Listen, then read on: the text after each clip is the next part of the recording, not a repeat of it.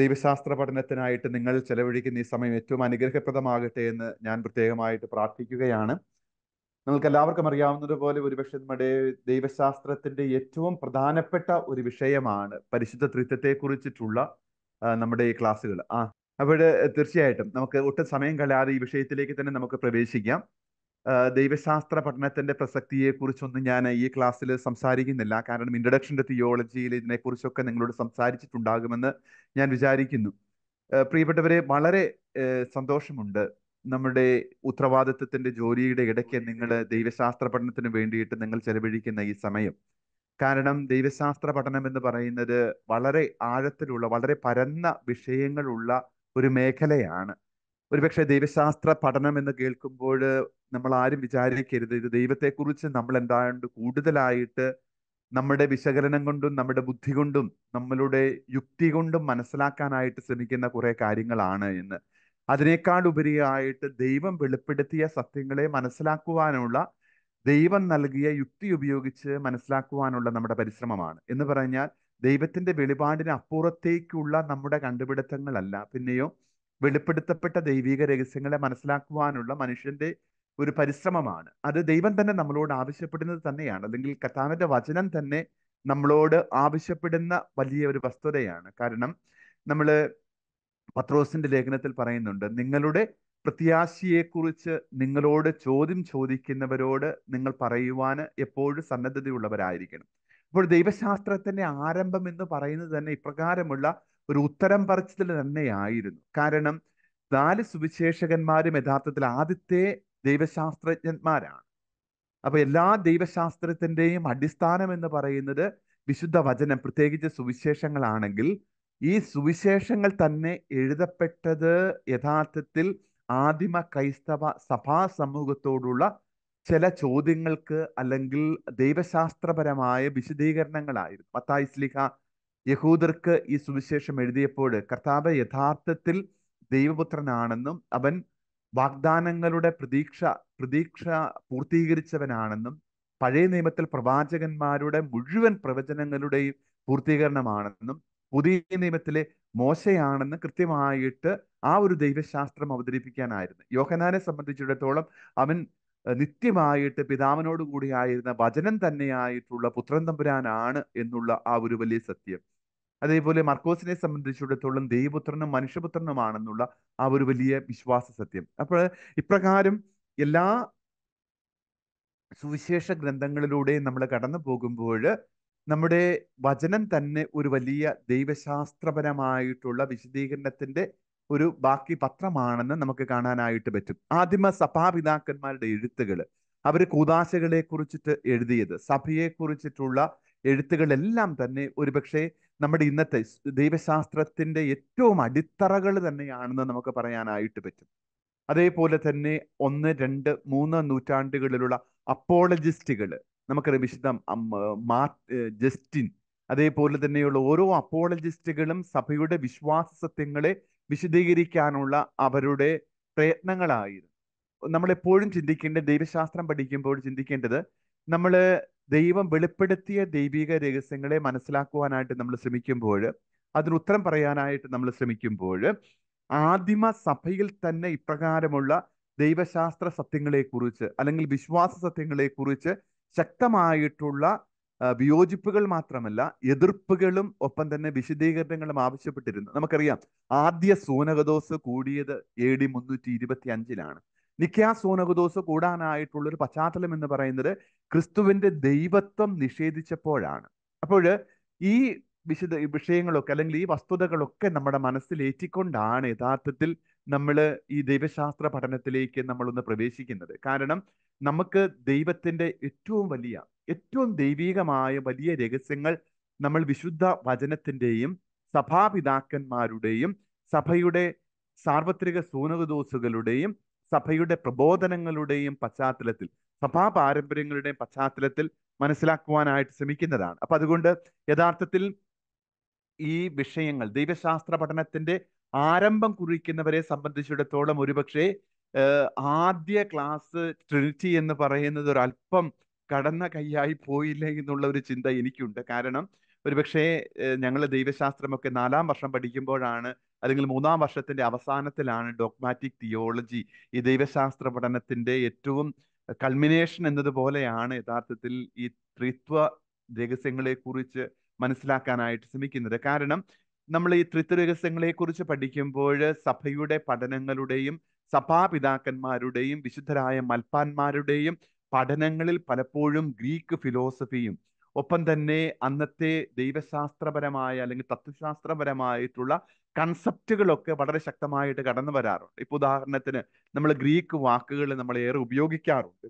Ousia hypostasis hypostatic union substantia persona substance perichoresis തുടങ്ങിയ വാക്കുകളൊക്കെ നമ്മൾ ഇതിന്റെ ഭാഗമായിട്ട് നമ്മൾ മനസ്സിലാക്കാൻ ശ്രമിക്കുന്നുണ്ട്. കാരണം മാനുഷികമായിട്ടുള്ള നമ്മളുടെ പരിശ്രമത്തിൽ ദൈവത്തിന്റെ കൃപയനുസരിച്ച് ത്രിത്വീക രഹസ്യം ഏറ്റവും വലിയ രഹസ്യങ്ങളിൽ ക്രൈസ്തവ വിശ്വാസ രഹസ്യങ്ങളിൽ ഏറ്റവും ഉന്നതമായിട്ടുള്ള രഹസ്യമാണ്. രഹസ്യം എന്ന് പറയുമ്പോൾ ഒരു സീക്രട്ട് എന്നതിനേക്കാൾ ഉപരിയായിട്ട് ഒരു മിസ്റ്ററിയാണ് അപ്പോൾ ഈ മിസ്റ്ററിയെ നമ്മൾ മനസ്സിലാക്കുവാനായിട്ട് ശ്രമിക്കുമ്പോൾ ഇപ്രകാരമുള്ള ഒരു തത്വശാസ്ത്രപരമായിട്ടുള്ള കൺസെപ്ച്വൽ ഐഡിയാസിനെ നമ്മളൊന്ന് വിശകലനം ചെയ്യാനായിട്ട് ശ്രമിക്കുന്നുണ്ട്. അത് വിശുദ്ധ അഗസ്തീനോസിന്റെയും അല്ലെങ്കിൽ കുറച്ചുകൂടി മധ്യകാലഘട്ടങ്ങളിലേക്ക് വരുമ്പോൾ പ്രധാനപ്പെട്ട സ്കൊളാസ്റ്റിക് തിങ്കേഴ്സ് ആയിട്ടുള്ള അല്ലെങ്കിൽ ദൈവശാസ്ത്രജ്ഞന്മാരായ വിശുദ്ധ ആൽബർട്ട് വിശുദ്ധ തോമസ് അക്കീനാസ് തുടങ്ങിയവരുടെ ചിന്തകൾ നമ്മൾ മനസ്സിലാക്കണമെങ്കിൽ ഒരു ദൈവശാസ്ത്രപരമായ അടിത്തറയുണ്ട്. അപ്പോൾ ഇതൊക്കെ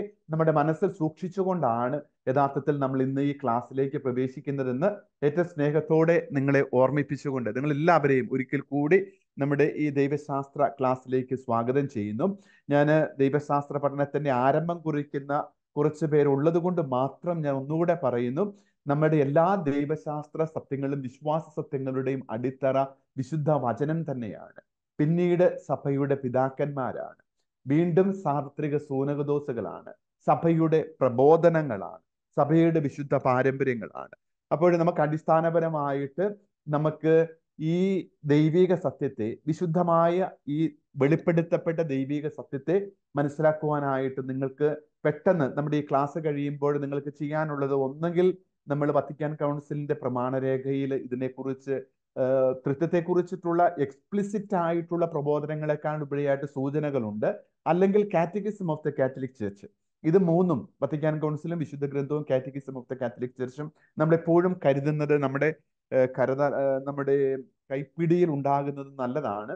കാരണം നമുക്ക് ഒന്ന് പെട്ടെന്ന് റെഫർ ചെയ്യാനായിട്ട് അതിനൊന്ന് മനസ്സിലാക്കുവാനായിട്ടൊക്കെ എന്താണ് സഭ പഠിപ്പിക്കുന്നത് എന്ന് മനസ്സിലാക്കുവാനായിട്ട് ദൈവശാസ്ത്ര വിദ്യാർത്ഥികളുടെ ഏറ്റവും അടിത്തറ ഈ വിശുദ്ധ ഈ മൂന്ന് പുസ്തകങ്ങൾ തന്നെയാണ് വിശുദ്ധ വചനവും ഒപ്പം തന്നെ വത്തിക്കാൻ കൗൺസിലിന്റെ പ്രമാണരേഖകളും കൂടാതെ catechism of the Catholic church ഒപ്പം തന്നെ നമ്മുടെ സഭയുടെ ഓരോ വിഷയത്തെക്കുറിച്ചുമുള്ള പ്രബോധന രേഖകൾ.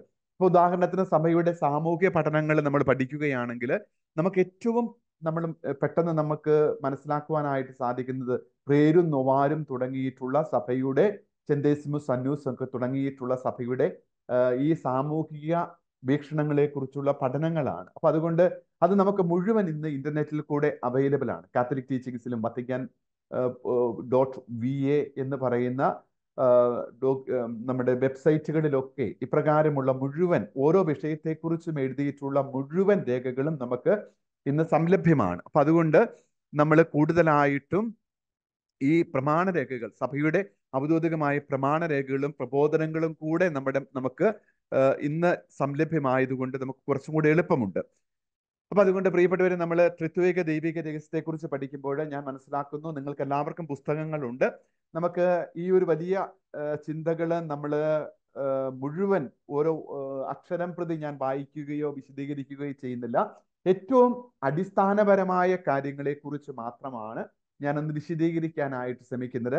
ആദ്യത്തെ അധ്യായങ്ങളൊക്കെ പ്രത്യേകിച്ച് ഒന്ന് രണ്ട് മൂന്ന് നാല് അഞ്ച് ആറ് അധ്യായങ്ങൾ അല്ലെങ്കിൽ അഞ്ച് അധ്യായങ്ങളിലാണ് നമ്മൾ പ്രധാനമായിട്ടും ഈ ഒരു വിഷയത്തിന്റെ അടിസ്ഥാനങ്ങളെക്കുറിച്ച് നമ്മൾ ചിന്തിക്കുന്നത്. പ്രത്യേകിച്ച് ദൈവവചനത്തിലുള്ള തൃത്വത്തെക്കുറിച്ചുള്ള വെളിപ്പെടുത്തലുകൾ വീണ്ടും സഭാപിതാക്കന്മാരുടെയും സഭയുടെ പഠനങ്ങളുടെയും പിന്നെ ഈ വിശ്വാസ സത്യത്തിനെതിരായിട്ടുണ്ടായ പാഷണ്ഡതകൾ ഏതൊക്കെയാണെന്ന് നമ്മൾ മനസ്സിലാക്കുന്നു. പിന്നെ പ്രത്യേക ദൈവശാസ്ത്രത്തിലെ സുപ്രധാനമായിട്ടുള്ള കൺസെപ്റ്റുകൾ എന്തൊക്കെയാണ് എന്ന് നമ്മൾ മനസ്സിലാക്കാനായിട്ട് നമ്മൾ ശ്രമിക്കുന്നു. പിന്നീടുള്ള അധ്യായങ്ങൾ മുഴുവൻ ആറ് മുതലുള്ള അധ്യായങ്ങൾ എന്ന് പറയുന്നത് ഒരുപക്ഷെ നിങ്ങൾ കേട്ടിട്ടുണ്ടോ എന്ന് എനിക്ക് അറിഞ്ഞുകൂടാ ലാറ്റിൻ അമേരിക്കൻ ലിബറേഷൻ തിയോളജിയുടെ ഏറ്റവും വലിയ വക്താവായ ലിയോണോഡ് ഓഫ് ബോഫിന്റെ തൃത്വം ഒരു കൂട്ടായ്മ എന്ന് പറയുന്ന പുസ്തകത്തിന്റെ ചില അധ്യായങ്ങളാണ്. അത് നമുക്കേറെ വിചിന്തനത്തിനും ഒപ്പം തന്നെ നമ്മളുടെ ദൈവശാസ്ത്രപരമായ ആഴത്തിനും ആ അധ്യായങ്ങൾ നമ്മളെ സഹായിക്കും. അപ്പൊ അതുകൊണ്ട് നമ്മൾ പ്രധാനമായിട്ടും നമ്മൾ കുറച്ച് സമയം കൂടുതലായിട്ട് മനസ്സിലാക്കാനായിട്ട് ശ്രമിക്കുന്നത് ഈ ആദ്യത്തെ അഞ്ച് അധ്യായങ്ങളാണ്. ബാക്കിത്തെ അധ്യായങ്ങൾ നമ്മളൊന്ന് വായിച്ച് പിന്നീട് നമുക്ക് കൂടുതലായിട്ടുള്ള ഉൾക്കാഴ്ചകൾ നമുക്ക് സ്വീകരിക്കാവുന്നതാണ്. അപ്പൊ അതുകൊണ്ട് ത്രിത്വൈക ദൈവീക രഹസ്യം. യഥാർത്ഥത്തിൽ ത്രിത്വൈക ദൈവീക രഹസ്യം എന്ന് പറയുന്നത് ഒരുപക്ഷെ നമ്മൾ വേദപാഠം പഠിപ്പിക്കുന്ന അല്ലെങ്കിൽ നമ്മുടെ മതബോധനത്തിൽ അധ്യാപകരാണെങ്കിൽ നമുക്കറിയാം. നമ്മുടെ കുട്ടികളോട് നമുക്ക് പറഞ്ഞു കൊടുക്കാനായിട്ട് വിശദീകരിക്കാനായിട്ടൊക്കെ ഏറെ ബുദ്ധിമുട്ട് പലപ്പോഴും നമുക്ക് അനുഭവപ്പെടാറുണ്ട്. കാരണം നമ്മുടെ മാനുഷികമായിട്ടുള്ള കൺസെപ്റ്റുകൾക്കോ അല്ലെങ്കിൽ ഉദാഹരണത്തിനോ ഒക്കെ അതീതമാണ് ഈ വിശുദ്ധ രഹസ്യം എന്ന് പറയുന്നത്. നമ്മൾ പലപ്പോഴും സാമാന്യ ബുദ്ധി അനുസരിച്ച് നമ്മൾ പലപ്പോഴും പറയാറുണ്ട് ഋത്വിക ദൈവിക രഹസ്യം എന്ന് പറയുന്നത് നമുക്ക് ചില വിശുദ്ധന്മാര് അല്ലെങ്കിൽ ചില ദൈവശാസ്ത്രജ്ഞന്മാർ ഉപ ഉപമിക്കുന്നത് പോലെ നമുക്ക് നമുക്കറിയാം. ഋത്വിക ദൈവിക രഹസ്യം എന്ന് പറഞ്ഞ ഒറ്റ വാക്കിൽ പറഞ്ഞു കഴിഞ്ഞാൽ ഒരു സത്തയും മൂന്ന് വ്യക്തികളും ആണ് ഒരേ ദൈവം. ഒരു സത്തയും മൂന്ന് ദൈവിക വ്യക്തികളുമാണ് ഈ ക്രിസ്തീയ വിശ്വാസത്തിന്റെ ആരംഭം മുതലേയുള്ള ഈ വിശ്വാസ രഹസ്യത്തിന്റെ അടിസ്ഥാനം എന്ന് പറയുന്നത്. മൂന്നാളുകൾ വ്യത്യസ്തരാണെങ്കിലും പരസ്പര ബന്ധിതരും അവിഭാജ്യവും ഏകവുമായ ദൈവിക സത്ത.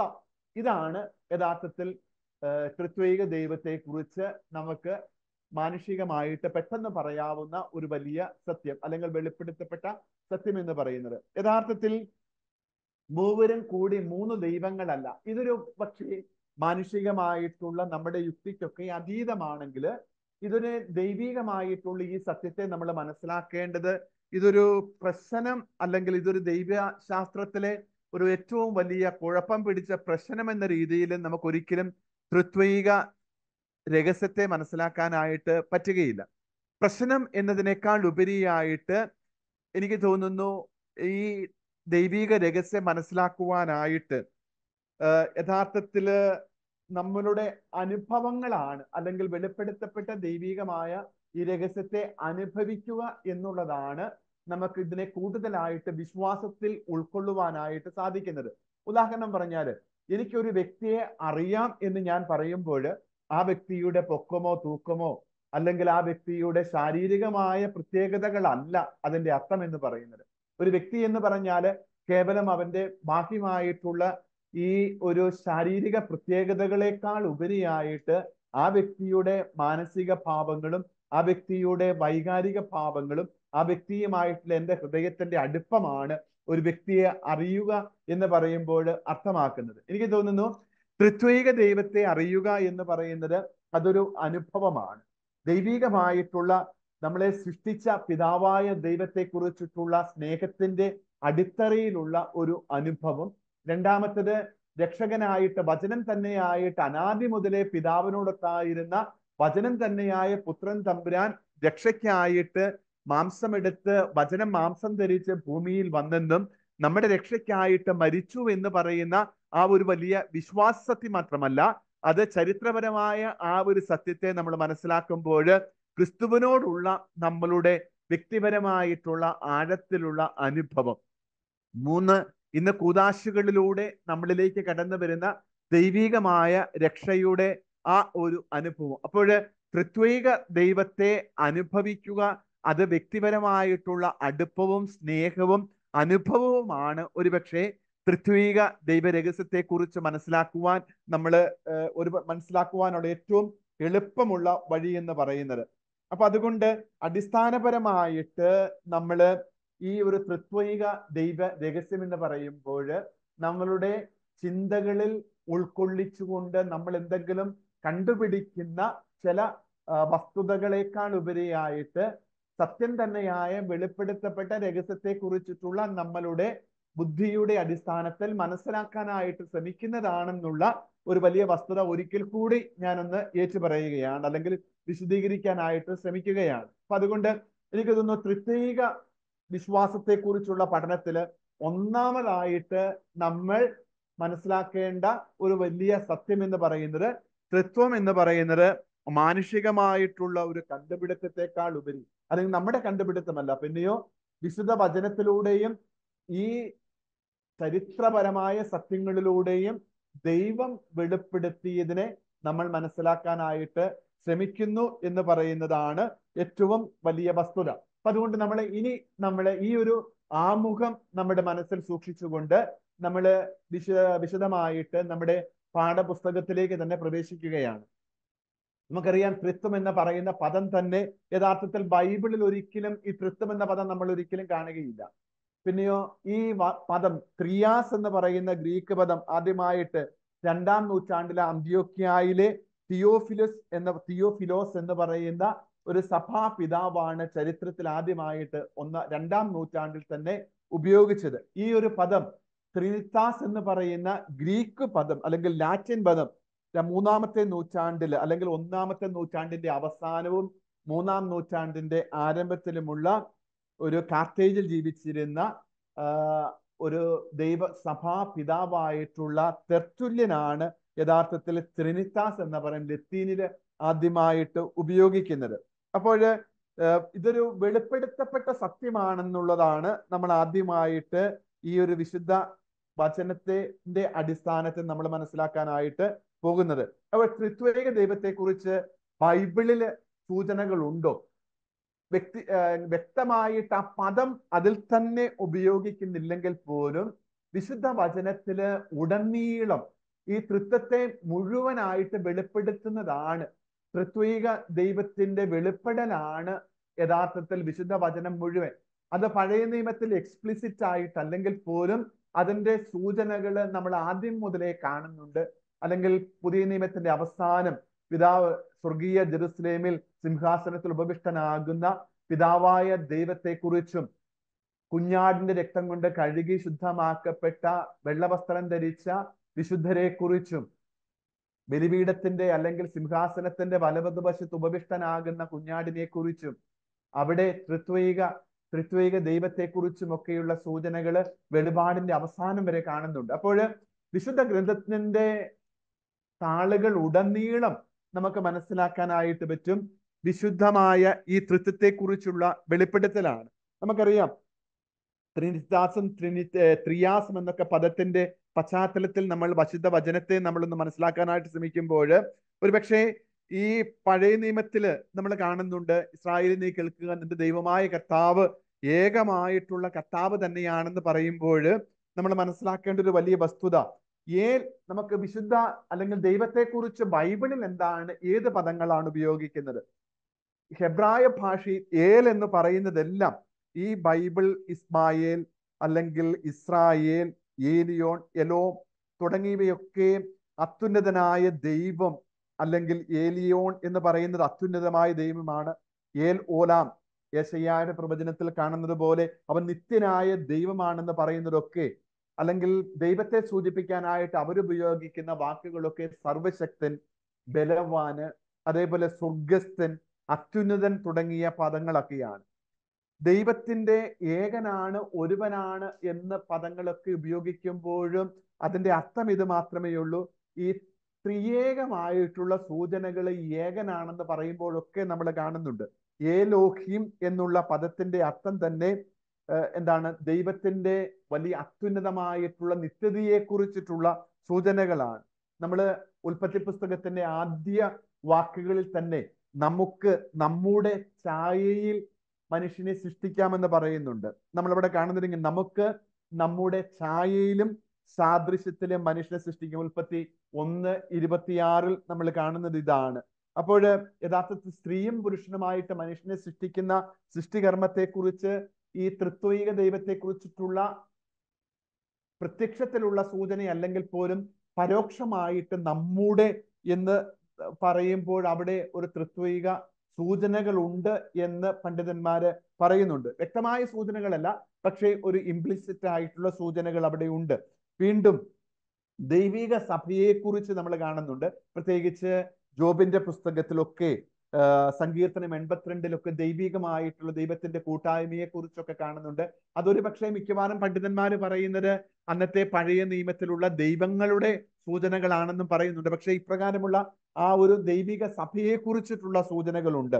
ഒരുപക്ഷെ മൂന്നാളുകളെ കുറിച്ച് നമ്മൾ പിന്നീട് കാണുന്നത് അല്ലെങ്കിൽ പിന്നീടല്ല സുവിശേഷത്തിൽ അല്ലെങ്കിൽ ബൈബിളിൽ കാണുന്നത് ഉൽപ്പത്തി പുസ്തകത്തിലെ പതിനെട്ടാമത്തെ അധ്യായത്തിൽ നമുക്ക് എല്ലാവർക്കും അറിയാവുന്നത് പോലെ അബ്രാഹം മര എന്താണ് മരത്തണലിൽ ഇരുന്നു കൊണ്ട് വിശ്രമിക്കുമ്പോൾ തലയുയർത്തി നോക്കിയപ്പോൾ മൂന്നാടുകൾ തനിക്കെതിരെ നിൽക്കുന്നത് കണ്ടു. അബ്രാഹം അവരോട് സംസാരിച്ചു കഴിഞ്ഞപ്പോൾ കർത്താവ് അവിടെ നിന്ന് പോയി.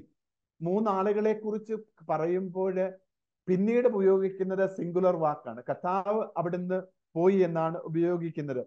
മൂന്ന് ദൈവം മൂന്നാളെ പ്രത്യക്ഷപ്പെട്ട് ഒരുവനായി തീർന്നു എന്നാണോ അതിന്റെ അർത്ഥമെന്ന് ചോദിച്ചാൽ നമുക്ക് അങ്ങനെയാണ് അത് എന്ന് കൃത്യമായിട്ട് പറയാൻ പറ്റുകയില്ലെങ്കിൽ പോലും അവിടെയല്ല സൂചനകൾ നമുക്ക് ഇപ്രകാരമുള്ള ഒരു ത്രിയേക ദൈവത്തിന്റെ സൂചനകൾ നമുക്ക് അവിടെയുണ്ട്.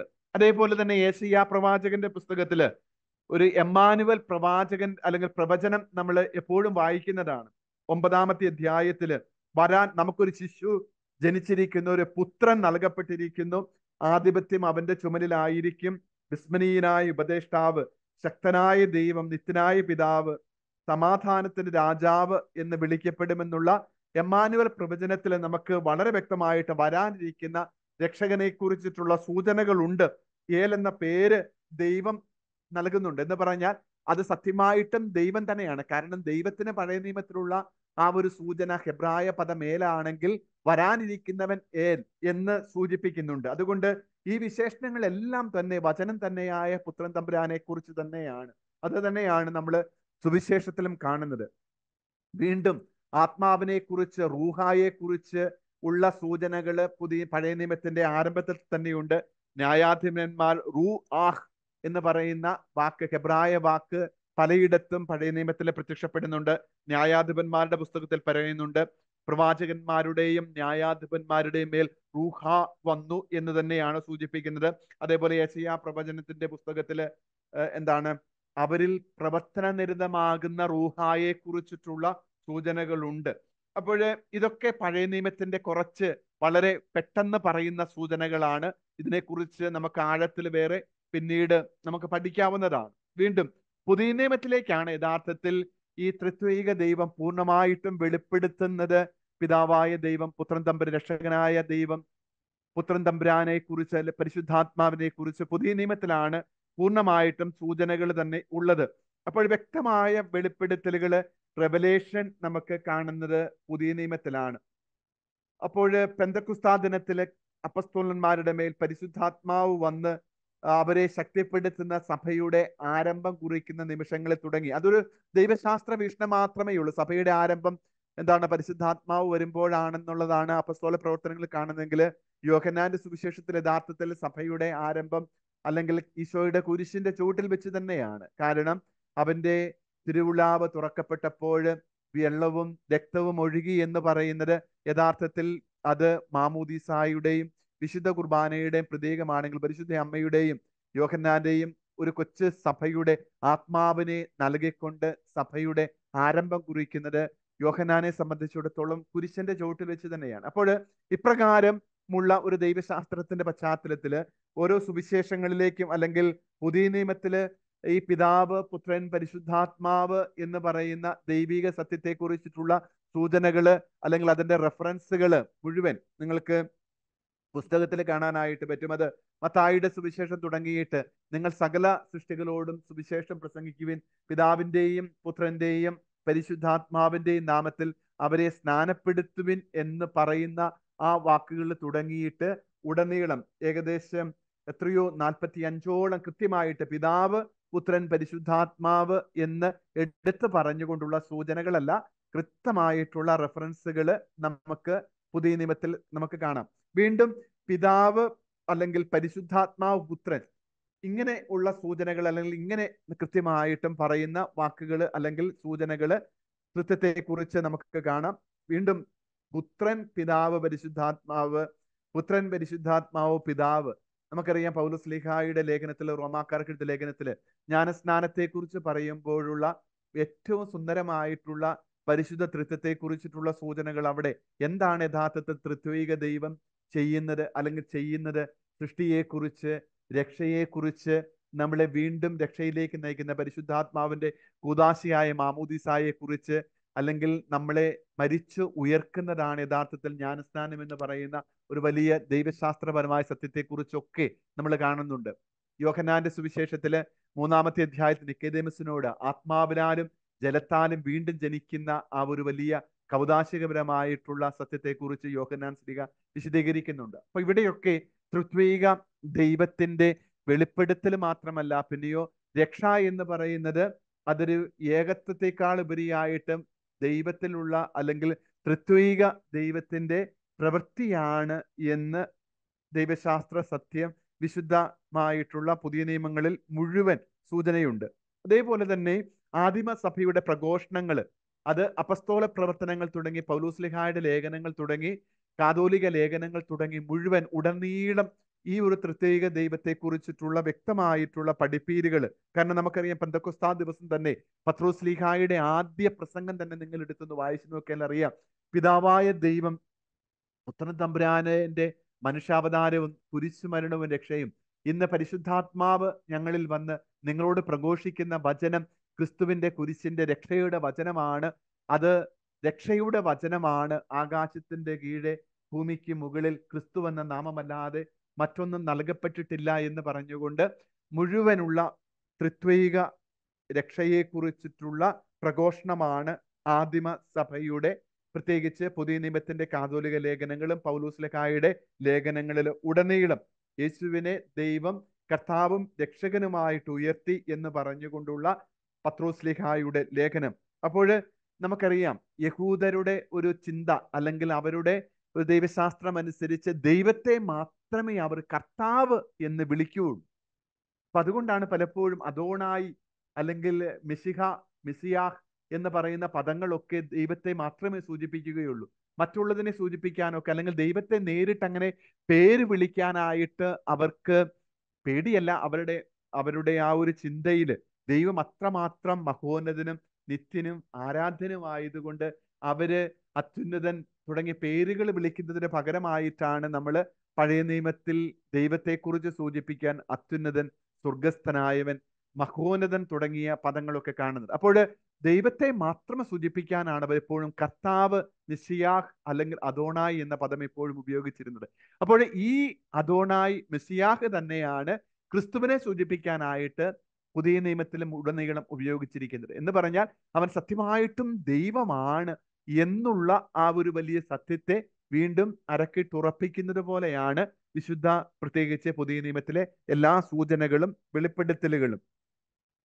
അപ്പൊ അതേപോലെ സുവിശേഷങ്ങളിൽ പരിശുദ്ധത്തെ കുറിച്ചിട്ടുള്ളത് ഞാനിപ്പോൾ സൂചിപ്പിച്ചു കഴിഞ്ഞു. എന്താണ്? യഥാർത്ഥത്തിൽ ഇവൻ ദൈവം തന്നെയാണെന്ന് പറയുമ്പോഴാണ് യഥാർത്ഥത്തിൽ യഹൂദര് അങ്ങേയറ്റം സ്കാൻഡലൈസ്ഡ് ആകുന്നത്. അല്ലെങ്കിൽ അവർ അങ്ങേയറ്റം പ്രകോപിതരാകുന്നത്. കാരണം ദൈവം രക്ഷകൻ വരാനിരിക്കുന്നു. പക്ഷേ വന്ന രക്ഷകൻ യഥാർത്ഥത്തിൽ കർത്താവാണ് എന്ന് ഉൾക്കൊള്ളാൻ പറ്റാതെയുള്ള ഒരു ജനസമൂഹമാണ് യഹൂദര് എന്ന് നമുക്ക് കാണാനായിട്ട് പറ്റും. അപ്പോൾ യേശു തന്നെ ദൈവത്തിന്റെ പുത്രനാണെന്ന് യേശു തന്നെ യേശുവിന്റെ തന്നെ സാക്ഷ്യങ്ങളാണ് യഥാർത്ഥത്തിൽ മത്കോസിന്റെ ചില സുവിശേഷം അല്ലെങ്കിൽ സുവിശേഷങ്ങളുടെ ഏറ്റവും പ്രധാനപ്പെട്ട പ്രതിപാദന വിഷയം തന്നെ. വീണ്ടും പരിശുദ്ധാത്മാവ് നിങ്ങളുടെ മേൽ വരും. അത്യുന്നതിന്റെ ശക്തി നിന്റെ മേൽ ആവസിക്കുമെന്ന് പറഞ്ഞുകൊണ്ട് തന്നെയാണ് ലൂക്കായുടെ സുവിശേഷം എപ്പോഴും ആരംഭിക്കുന്നത്. അപ്പോൾ യഥാർത്ഥത്തിൽ രക്ഷകനും കർത്താവും ക്രിസ്തു വരാനിരുന്ന അല്ലെങ്കിൽ വരാനിരിക്കുന്ന ക്രിസ്തുവാണ് അല്ലെങ്കിൽ അവൻ ദൈവം തന്നെയാണ് ദൈവപുത്രനാണെന്നുള്ള സത്യം ലൂക്കായുടെ സുവിശേഷത്തിൽ വളരെ വിശദമായിട്ട് വിവരിക്കുന്നുണ്ട്. അപ്പോൾ പിതാവും പുത്രനും പരിശുദ്ധാത്മാവിനെ കുറിച്ച് ഒരുപക്ഷെ ന്യൂമറ്റോളജി അല്ലെങ്കിൽ നമ്മളെ വിശുദ്ധ ഗ്രന്ഥ അല്ലെങ്കിൽ ദൈവശാസ്ത്ര പഠനത്തിലെ ഏറ്റവും പ്രധാനപ്പെട്ട ഒരു വിഷയമായിട്ടുള്ള ന്യൂമറ്റോളജിയിൽ പരിശുദ്ധ റൂഹ വിജ്ഞാനീയത്തിൽ നമ്മൾ യോഹന്നാന്റെ സുവിശേഷത്തെ കുറിച്ച് വളരെ ആഴമായി പഠിക്കുമ്പോൾ പിതാ എന്റെ പിതാവും എന്റെ പിതാവ് അവനെ സ്നേഹിക്കുകയും ഞങ്ങൾ വന്ന് അവനിൽ വാസമുറപ്പിക്കുകയും നിങ്ങളുടെ കൂടെ ആയിരിക്കാൻ മറ്റൊരു സഹായകനെ അയക്കുകയും അവൻ വരുമ്പോൾ എല്ലാ കാര്യങ്ങളും നിങ്ങളെ പഠിപ്പിക്കുകയും രക്ഷയുടെ അനുഭവം നിങ്ങൾക്ക് നൽകുകയും ചെയ്യുമെന്ന് പറയുന്ന പരിശുദ്ധാത്മാവിനെ കുറിച്ചിട്ടുള്ള സൂചനകളല്ല വ്യക്തമായ പഠനങ്ങൾ തന്നെ നമുക്ക് വിശുദ്ധ വചനങ്ങളിൽ ഉടനീളമുണ്ട്. പൗലോസ്ലിഹായുടെ ലേഖനങ്ങളിൽ നമുക്കറിയാം നമ്മൾ ഇപ്പോൾ ഉപയോഗിക്കുന്ന നമ്മുടെ എല്ലാ ആശീർവാദ പ്രാർത്ഥനകൾ പോലും നമ്മുടെ കർത്താവിശ്വമിശുഹായുടെ കൃപയും പിതാവായ ദൈവത്തിന്റെ സ്നേഹവും പരിശുദ്ധാത്മാവിന്റെ സഹവാസവും എന്ന് പറയുന്നത് പോലും നമുക്ക് യഥാർത്ഥത്തിൽ എന്താണ്? ആരാധനകളിൽ അല്ലെങ്കിൽ ഉപയോഗിച്ചിരുന്ന ആശീർവാദ പ്രാർത്ഥനകളും കൂതാശകളിൽ ഉപയോഗിക്കുന്ന പ്രാർത്ഥനകൾ തന്നെയാണ് അത് നമുക്ക് പൗരൂസ്ലിഹായുടെ ലേഖനങ്ങളിൽ ഉടനീളം കാണാം. അപ്പോൾ വിശുദ്ധ വചനങ്ങളുടെ വെളിപ്പെടുത്തലുകൾ മുഴുവൻ തന്നെ ഈ തൃത്വൈക ദൈവത്തിന്റെ സത്യത്തെ വെളിപ്പെടുത്തുന്നതാണ്. നമ്മളിപ്പോൾ ഉടൻ തന്നെ ഈ പുതിയ നിയമത്തിന്റെ പഠനം കഴിഞ്ഞാൽ നമ്മൾ കാണാനായിട്ട് പോകുന്നത് പ്രിയപ്പെട്ടവർ നമ്മളെപ്പോഴും ചിന്തിക്കേണ്ട ഒരു വസ്തുത ഈ അഗ്രാഹ്യമായിട്ടുള്ള വിശുദ്ധ രഹസ്യത്തെ കുറിച്ച് ആദിമ കാലഘട്ടത്തിൽ തന്നെ നമ്മുടെ എന്താണ് പാഷണ്ഡതകൾ ഉണ്ടായിട്ടുണ്ട്. അല്ലെങ്കിൽ അതിനെ മനസ്സിലാക്കുന്നതിലുണ്ടായിട്ടുള്ള വ്യതിചലനങ്ങൾ കൊണ്ട് അതിനെ തെറ്റായ പഠിപ്പീരുകൾ ഉണ്ടായിട്ടുണ്ട്. സൂനകദോസുകൾ കൂടാൻ തന്നെ കാരണം അതാണ്. നമ്മുടെ വിശ്വാസ പ്രമാണം ഉണ്ടായത് തന്നെ ഇപ്രകാരമുള്ള തെറ്റായ പ്രബോധനങ്ങളുടെ പശ്ചാത്തലത്തിൽ യഥാർത്ഥത്തിൽ സത്യവിശ്വാസം പഠിപ്പിക്കാനുള്ള വിശുദ്ധ വചനത്തിന്റെ അടിസ്ഥാനത്തിലുള്ള സഭാപിതാക്കന്മാരുടെ ശ്രമത്തിന്റെ ഫലം തന്നെയാണ് യഥാർത്ഥത്തിൽ നമ്മളുടെ വിശ്വാസ പ്രഖ്യാപനങ്ങൾ തന്നെ അല്ലെങ്കിൽ നമ്മുടെ വിശ്വാസ പ്രമാണം തന്നെ.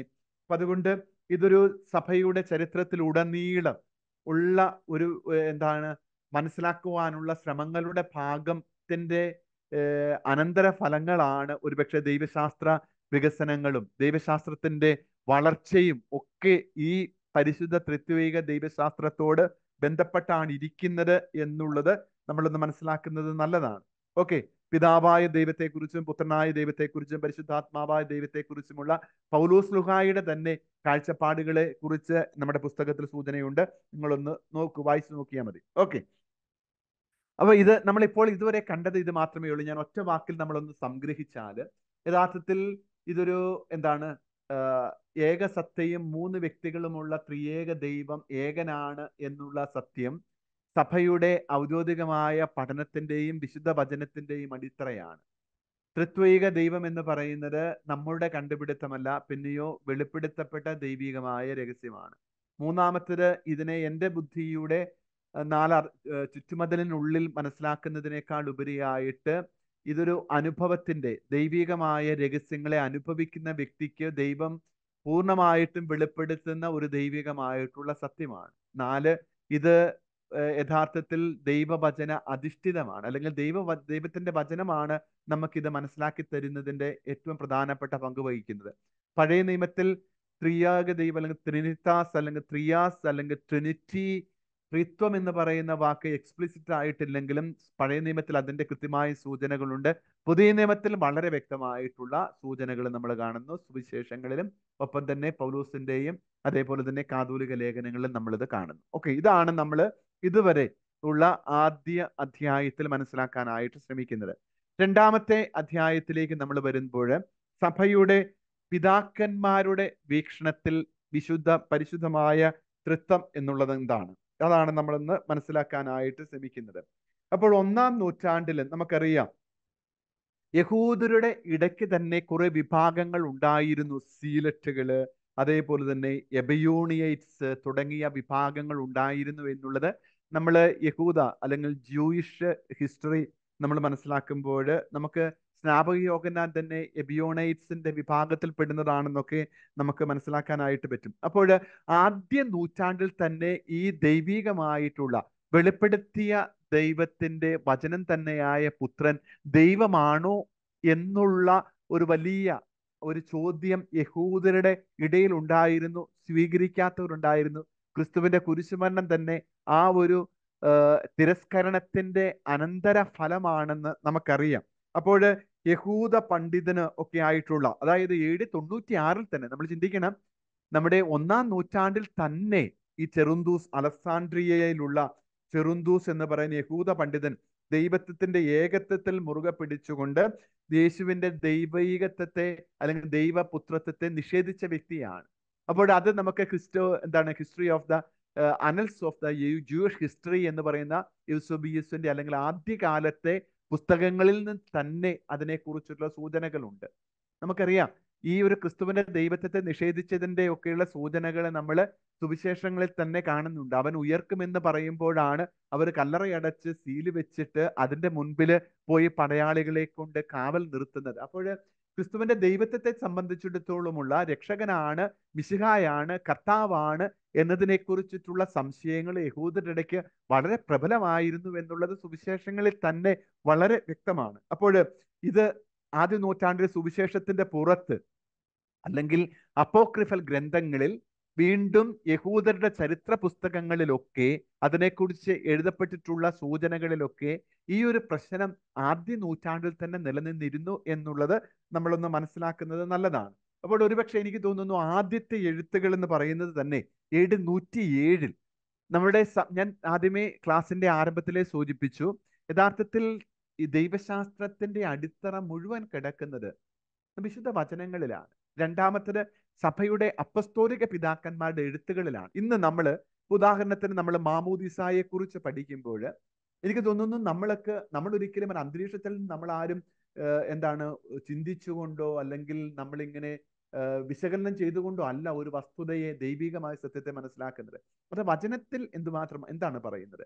രണ്ട് വചനത്തോടൊപ്പം തന്നെ സഭയുടെ ഏറ്റവും ആദ്യമകാല പാരമ്പര്യങ്ങളുടെ അടിത്തറ കുറച്ച് സഭയുടെ പിതാക്കന്മാരുണ്ട്. കാരണം അപ്പസ്തോന്മാരിൽ നിന്ന് നേരിട്ട് കേട്ട വചനങ്ങളെ സ്വീകരിച്ചുകൊണ്ട് അവർ സഭയുടെ ആദ്യ പത്രോസ് കഴിഞ്ഞാൽ ആദ്യമായവര് അല്ലെങ്കിൽ എന്താണ് സഭയുടെ പിതാവായി തീർന്ന പോപ്പായി തീർന്നവര് സഭയുടെ ആദ്യ പിതാവ് എ ഡി ഒന്നാം നൂറ്റാണ്ടിന്റെ അവസാനം അല്ലെങ്കിൽ രണ്ടാം നൂറ്റാണ്ടിന്റെ ആരംഭം എ ഡി നൂറ്റിയേഴിൽ അന്ത്യോക്കൻ വിശുദ്ധ ഇഗ്നേഷ്യസ് ഒക്കെ ഏഴ് സഭകൾക്ക് എഴുതിയ കത്തുകളിൽ അദ്ദേഹത്തെ പിടിച്ച് റോമിലേക്ക് കൊണ്ടുപോകും ജെറുസലേമിലേക്ക് കൊണ്ടുപോകുന്ന വഴിക്ക് കൊല്ലാനായിട്ട് യഹൂദന് കൊണ്ടുപോകുന്ന വഴിക്ക് അദ്ദേഹം ഓരോ സഭയ്ക്കും ഓരോ കത്തുകൾ എഴുതിയിട്ടുണ്ട്.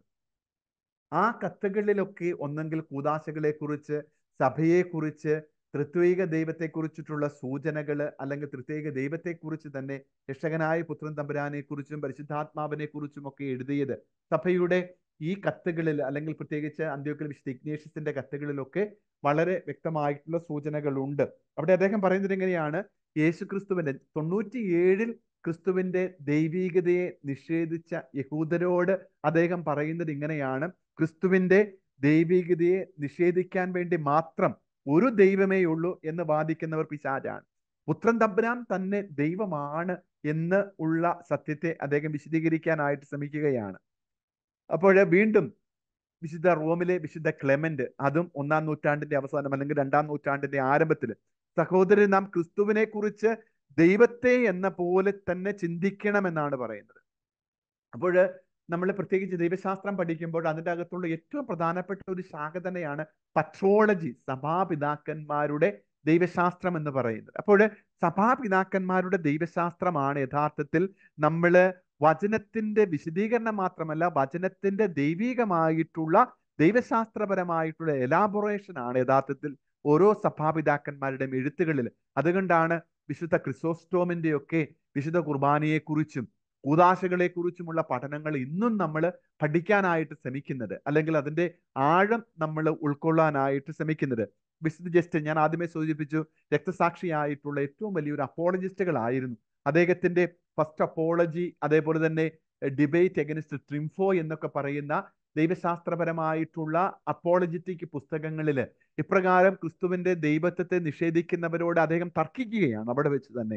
അപ്പോൾ അദ്ദേഹം പറയുകയാണ് ദൈവത്തിൽ നിന്ന് ജനിച്ച ഏകജാതനായ പുത്രനാണ് ക്രിസ്തു എന്നൊക്കെ പറയുമ്പോൾ ദൈവത്തിൽ നിന്ന് വേർതിരിച്ച് കാണിക്കുക എന്നതിനേക്കാൾ ഉപരിയായിട്ട് ദൈവത്തിന്റെ ഏകത്വത്തെ മുറുകെ പിടിക്കുകയും അതേസമയം ക്രിസ്തു ദൈവമാണെന്ന് സമർത്ഥിക്കുകയും ചെയ്യുകയാണ്. ഇറിനേബുസ് രണ്ടാം നൂറ്റാണ്ടിൽ. ആയി ഗോഡ് ഹു ഈസ് ആയിരിക്കുന്നവനായ ദൈവത്തെക്കുറിച്ച്. അതേപോലെ തന്നെ God who is manifested in the economy of salvation. നമ്മളെപ്പോഴും ദൈവശാസ്ത്രത്തിൽ എപ്പോഴും എക്കോണമി സാൽവിക് എക്കോണമി എന്നൊക്കെ നമ്മൾ പറയുമ്പോൾ രക്ഷാകരമായ ചരിത്രത്തെക്കുറിച്ച് സൂചിപ്പിക്കുന്ന ദൈവശാസ്ത്രപരമായ വാക്കുകളാണ് ഇത്. അതുകൊണ്ട് ദൈവം രക്ഷാകര ചരിത്രത്തിൽ എപ്രകാരമാണ് വെളിപ്പെടുത്തത് വെളിപ്പെടുത്തിയത് വെളിപ്പെടുത്തപ്പെട്ടത് എന്ന് അദ്ദേഹം പറയുമ്പോൾ എപ്പോഴും ട്രിനിറ്റിയാണ് അല്ലെങ്കിൽ അത് ത്രിത്വൈക ദൈവമായിട്ടാണ് വെളിപ്പെടുത്തിയത് എന്ന് അദ്ദേഹം വായിച്ചു. പ്രത്യേകിച്ച് അദ്ദേഹത്തിന്റെ ഈ എന്താണ് നോസ്റ്റിസിസത്തിനെതിരായിട്ട് അതേപോലെ തന്നെ ഡുവലിസം ദ്വന്ദ്വാദം നോസ്റ്റിസിസം തുടങ്ങിയ വാദങ്ങൾക്ക് നമ്മൾ അതിനെക്കുറിച്ച് പേരുമ്പോൾ എന്താണ് നോസ്റ്റിസിസം എന്നൊക്കെ പറയുന്നത്? മാനിക്കെയിനിസം നോസ്റ്റിസിസം അതേപോലെ തന്നെ മോണോഫിസിറ്റിസിസം ഏക ഏകത്വവാദം തുടങ്ങിയ പാഷണ്ഡതകളെ കുറിച്ച് പിന്നീട് നമ്മൾ കുറച്ച് കാണും. അപ്പൊ അദ്ദേഹത്തിന്റെ തന്നെ എഴുത്തുകൾ നിങ്ങൾ പുസ്തകത്തിൽ കൊടുത്തിട്ടുണ്ട്. ഞാനത് കൂടുതൽ വായിക്കുന്നത് എഗനിസ്റ്റ് ഹെരസീസ് എന്ന് പറയുന്ന അദ്ദേഹത്തിന്റെ പുസ്തകത്തിൽ ഒറ്റ ദൈവമേ ഉള്ളൂ. സൃഷ്ടാവും എല്ലാ അധികാരങ്ങൾക്കും ആധിപത്യങ്ങൾക്കും ശക്തികൾക്കും നന്മകൾക്കും ഉപരിയായ പിതാവാണ്. അവൻ ദൈവമാണ്. എല്ലാറ്റിന്റെയും ഉറവിടവും നിർമ്മിതാവും സൃഷ്ടാവുമാണ്. അവിടുന്നാണ് നമ്മുടെ കർത്താവായ യേശു ക്രിസ്തുവിന്റെ പിതാവ് തുടങ്ങിയ എഴുത്തുകൾ നമ്മൾ ഇരണേവുസിന്റെ പുസ്തകങ്ങളിലുണ്ട്. മൂന്നാം നൂറ്റാണ്ടുകളിൽ ആദ്യത്തെ അപ്പസ്തോലിക പിതാക്കന്മാരുടെ കാലഘട്ടത്തിലുള്ള എഴുത്തുകളെ കുറിച്ചാണ് ഞാൻ പറഞ്ഞത്. മൂന്നാം നൂറ്റാണ്ടിൽ ഏറ്റവും പ്രധാനപ്പെട്ട ഒരു എഴുത്തുകാരനായിരുന്നു തെർച്ചുല്യൻ അദ്ദേഹത്തിന്റെ അപ്പോൾ അനാലജിയെ ഈ തൃത്വത്തെ ദൈവിക സത്യത്തെ വിശദീകരിക്കാനായിട്ട് അനാലജികൾ അദ്ദേഹം പറയുന്നുണ്ട്. പിതാവും പിതാവും പുത്രനും ഒരു ശരീരത്തിന്റെ തന്നെ രണ്ട് അവയവങ്ങളാണ്. അതേസമയം ആ ശരീരം വിഭജിക്കപ്പെടാത്ത പൂർണ ശക്തിയുള്ള ഒരൊറ്റ ഘടകമാണ്. പിന്നെ ആത്മസഭാപിതാക്കന്മാരുടെ എഴുത്തുകളിൽ ഈ തൃത്വത്തെ ദൈവിക സത്യത്തെ കുറിച്ചിട്ടുള്ള പൂർണമായ ഒരു എലാബറേഷൻ അവർ വിശദീകരിക്കാനായിട്ട് ശ്രമിക്കുന്നുണ്ട്. പക്ഷെ പൂർണമായ ഒരു എലാബറേഷൻ ഉണ്ടോ എന്ന് ചോദിച്ചാൽ അതിന്റെ പൂർണതയിലൊന്നും പലപ്പോഴും പല പഠനങ്ങളിലും കാണുന്നില്ല. ഭാഗികമായിട്ടുള്ള വിശദീകരണങ്ങൾ നമുക്കറിയാം. ഞാൻ ആദ്യമേ സൂചിപ്പിച്ചതുപോലെ തന്നെ ഈ തൃത്യേക ദൈവത്തെക്കുറിച്ച് മനസ്സിലാക്കുവാനുള്ള സഭയുടെ പിതാക്കന്മാരുടെ ആദ്യ കാലഘട്ടത്തിന്റെ ശ്രമങ്ങളുടെ ഒരു ഭാഗമാണെന്ന് മാത്രം നമ്മൾ ചിന്തിക്കുക. അതേപോലെ വിശുദ്ധ ഒറിജിൻ ഡൈനേഷ്യസ് എന്ന് പറയുന്ന മൂന്നാം നൂറ്റാണ്ടിലെ സഭയുടെ പിതാവ്. പിന്നെ ആ നമുക്കറിയാം. പിന്നീട് പിന്നീട് മുന്നോട്ട് പോരുമ്പോൾ നാലാം നൂറ്റാണ്ടിലാണ് യഥാർത്ഥത്തിൽ അലക്സാണ്ട്രിയയിലെ വിശുദ്ധ അലക്സാണ്ടർ ആരിനിസത്തെ കുറിച്ച് നമ്മൾ ഇപ്പോൾ കൂടുതലായിട്ട് കാണും. അത്തനാസിയൂസ്. ഒരുപക്ഷെ അദ്ദേഹമാണ് ഈ ആര്യനിസം എന്ന് പറയുന്ന പാഷണ്ഡത പാഷണ്ഡതയെക്കുറിച്ച് നമ്മൾ പഠിക്കുമെങ്കിൽ പോലും നമ്മൾ ഇപ്പോൾ അതിനെക്കുറിച്ചൊന്ന് മനസ്സിലാക്കുന്നതാണ് എന്താണ് ആര്യനിസം? യേശു ക്രിസ്തുവിന്റെ പുത്രൻ തമ്പുരാനായ വചനം മാംസമായിട്ട് ചരിത്രത്തിൽ അവതരിച്ച പുത്രൻ തമ്പുരാന്റെ ദൈവീകതയെ നിഷേധിച്ചത് ആരാണ്? ഈ ആര്യൻ പാഷണ്ഡതയാണ്. അത് ആരാണെന്നുള്ള വ്യക്തികളുടെ പേരുകളൊക്കെ നമ്മൾ പിന്നീട് നമുക്ക് കൂടുതലായിട്ട് സഭയുടെ സാർവത്രിക സൂനകദൂസുകളെ കുറിച്ച് പഠിക്കുമ്പോൾ നമ്മൾ പിന്നീട് കൂടുതലായിട്ട് പഠിക്കും. അപ്പോൾ ക്രിസ്തുവിന്റെ ദൈവികതയെ അല്ലെങ്കിൽ രണ്ടാമത്തെ വ്യക്തിയായ ക്രിസ്തുവിന്റെ ദൈവികതയെ നിഷേധിച്ച പാഷണ്ഡതയ്ക്ക് പറയുന്ന പേരാണ് ആരിനിസം അപ്പോൾ ഈ ആരിനിസം ഉണ്ടായപ്പോൾ സഭയുടെ പിതാക്കന്മാർ പ്രത്യേകിച്ച് നമുക്കറിയാം എ ഡി മുന്നൂറ്റി പതിമൂന്ന് വരെ സഭ കടന്നുപോയത് ഏറ്റവും വലിയ മതമർദ്ദനങ്ങളിലൂടെയാണ്. മുന്നൂറ്റി പതിമൂന്നിലാണ് നമുക്ക് എഡിക്റ്റ് ഓഫ് മിലാൻ കോൺസ്റ്റാന്റിൻ ചക്ര ചക്രവർത്തി സഭയെ റോമായുടെ ഔദ്യോഗിക മതമായിട്ട് ക്രിസ്തുമതത്തെ അംഗീകരിക്കുകയും ആ ഒരു സ്വാതന്ത്ര്യത്തിലേക്ക് സഭ കടന്നു വരികയും ചെയ്ത്. അതുവരെ ഡൈക്ലീഷിന്റെയും അതേപോലെ നീറോയുടെയും ഒക്കെ കാലഘട്ടങ്ങളിൽ സഭ രക്തസാക്ഷിത്വത്തിന്റെ സഭയായിരുന്നു നമുക്കറിയാം. അപ്പോൾ ഈ മൂന്നാം നൂറ്റാണ്ടിൽ അല്ലെങ്കിൽ നാലാം നൂറ്റാണ്ടിൽ ഈ സഭ സ്വതന്ത്രമായ സ്വതന്ത്രമല്ല റോമിന്റെ ഔദ്യോഗിക മതമായപ്പോൾ യഥാർത്ഥത്തിൽ പ്രശ്നങ്ങൾ പതുക്കെ വീണ്ടും ഉടലെടുക്കുകയായി. ഒരുപക്ഷെ രക്തസാക്ഷികളുടെ സഭയെക്കാളും കൂടുതലായിട്ട് പ്രശ്നങ്ങൾ ഉണ്ടായ പിന്നീടുള്ള സഭകളിലാണ്. അതുകൊണ്ടാണ് നമ്മൾ സഭയുടെ ചരിത്രം പഠിക്കുമ്പോൾ എപ്പോഴും നമ്മളെ അതിശയിപ്പിക്കുന്ന ഒരു വസ്തുത. യഥാർത്ഥത്തിൽ സഭയുടെ സുവർണ കാലഘട്ടം എന്ന് പറയുന്നത് ഞാൻ അങ്ങ് വാക്കുപയോഗിക്കുന്നത് ഞാൻ ഒരു പ്രത്യേകമായിട്ട് ഉപയോഗിക്കുന്നതാണ്. യഥാർത്ഥത്തിൽ രക്ഷസാക്ഷിത്വത്തിന്റെ കാലഘട്ടങ്ങളിലാണ്. കാരണം അവിടെയായിരുന്നു അവർ സധൈര്യം ക്രിസ്തുവിന് ദൈവത്തിന് സാക്ഷ്യം വഹിക്കുവാൻ വേണ്ടി മരിക്കുവാൻ തയ്യാറായി പക്ഷേ എപ്പോഴൊക്കെ സഭ സ്വതന്ത്രമായിട്ട് വിഹരിക്കാനായിട്ട് തുടങ്ങിയോ അപ്പോഴൊക്കെ പാഷണ്ഡതകൾ സഭയിൽ ശക്തമായിട്ട് ഉടലെടുത്തു. എന്ന് പറഞ്ഞാൽ സത്യവിശ്വാസത്തിന്റെ പ്രബോധനങ്ങളെക്കാൾ ഉപരിയായിട്ട് അബദ്ധ പ്രബോധനങ്ങളിലേക്ക് സഭ കുറെ വഴുതി വീണത് ഈ ഒരു സ്വാതന്ത്ര്യത്തിന്റെ കാലഘട്ടത്തിലാണ്. അപ്പൊ അത് മൂന്നാം നൂറ്റാണ്ടിൽ തന്നെ ഈ ഒരു ആര്യനിസം പതുക്കെ സഭയിൽ ഉടലെടുക്കാനുണ്ടായി. അത് ഒരു അബദ്ധ പ്രബോധനങ്ങൾ ഉണ്ടായത് സ്വാതന്ത്ര്യം കിട്ടിയത് കൊണ്ടാണെന്നല്ല ഞാൻ പറഞ്ഞത്. പിന്നീട് എന്താണ് സംഭവിച്ചെന്ന് വെച്ച് കഴിഞ്ഞാൽ സത്യവിശ്വാസത്തെ അല്ലെങ്കിൽ ദൈവികമായ സത്യത്തെ വിശദീകരിക്കാനായിട്ട് ശ്രമിച്ചപ്പോൾ സ്വാഭാവികമായിട്ടും മനുഷ്യന്റെ ബുദ്ധിക്ക് അതീതമായ സത്യങ്ങളെ വിശദീകരിക്കാനായിട്ട് ശ്രമിച്ചപ്പോൾ ഉണ്ടായിട്ടുള്ള അപഭ്രംശങ്ങളാണ് ഒരുപക്ഷെ പാഷണതകൾക്ക് കാരണമായിട്ട് തീർന്നത്. അപ്പോൾ നിക്കിയാസ് സൂനോഗുദോസിന്റെ ഏറ്റവും വലിയ ഒരു വലിയ സഭാപിതാവായിരുന്നു അത്തനാസിയൂസ് അപ്പൊ അദ്ദേഹം പറയുന്നത് ഇങ്ങനെയാണ്. ഈ സത്യത്തെ ഈ വിശുദ്ധമായ ദൈവിക രഹസ്യത്തെ എങ്ങനെയാണ് വിശദീകരിക്കാനായിട്ട് പറ്റുന്നത്? അപ്പൊ അദ്ദേഹം അതിന് ഉപയോഗിച്ച ഒരു ഗ്രീക്ക് വാക്കാണ് ഹോമോ ഊസിയ.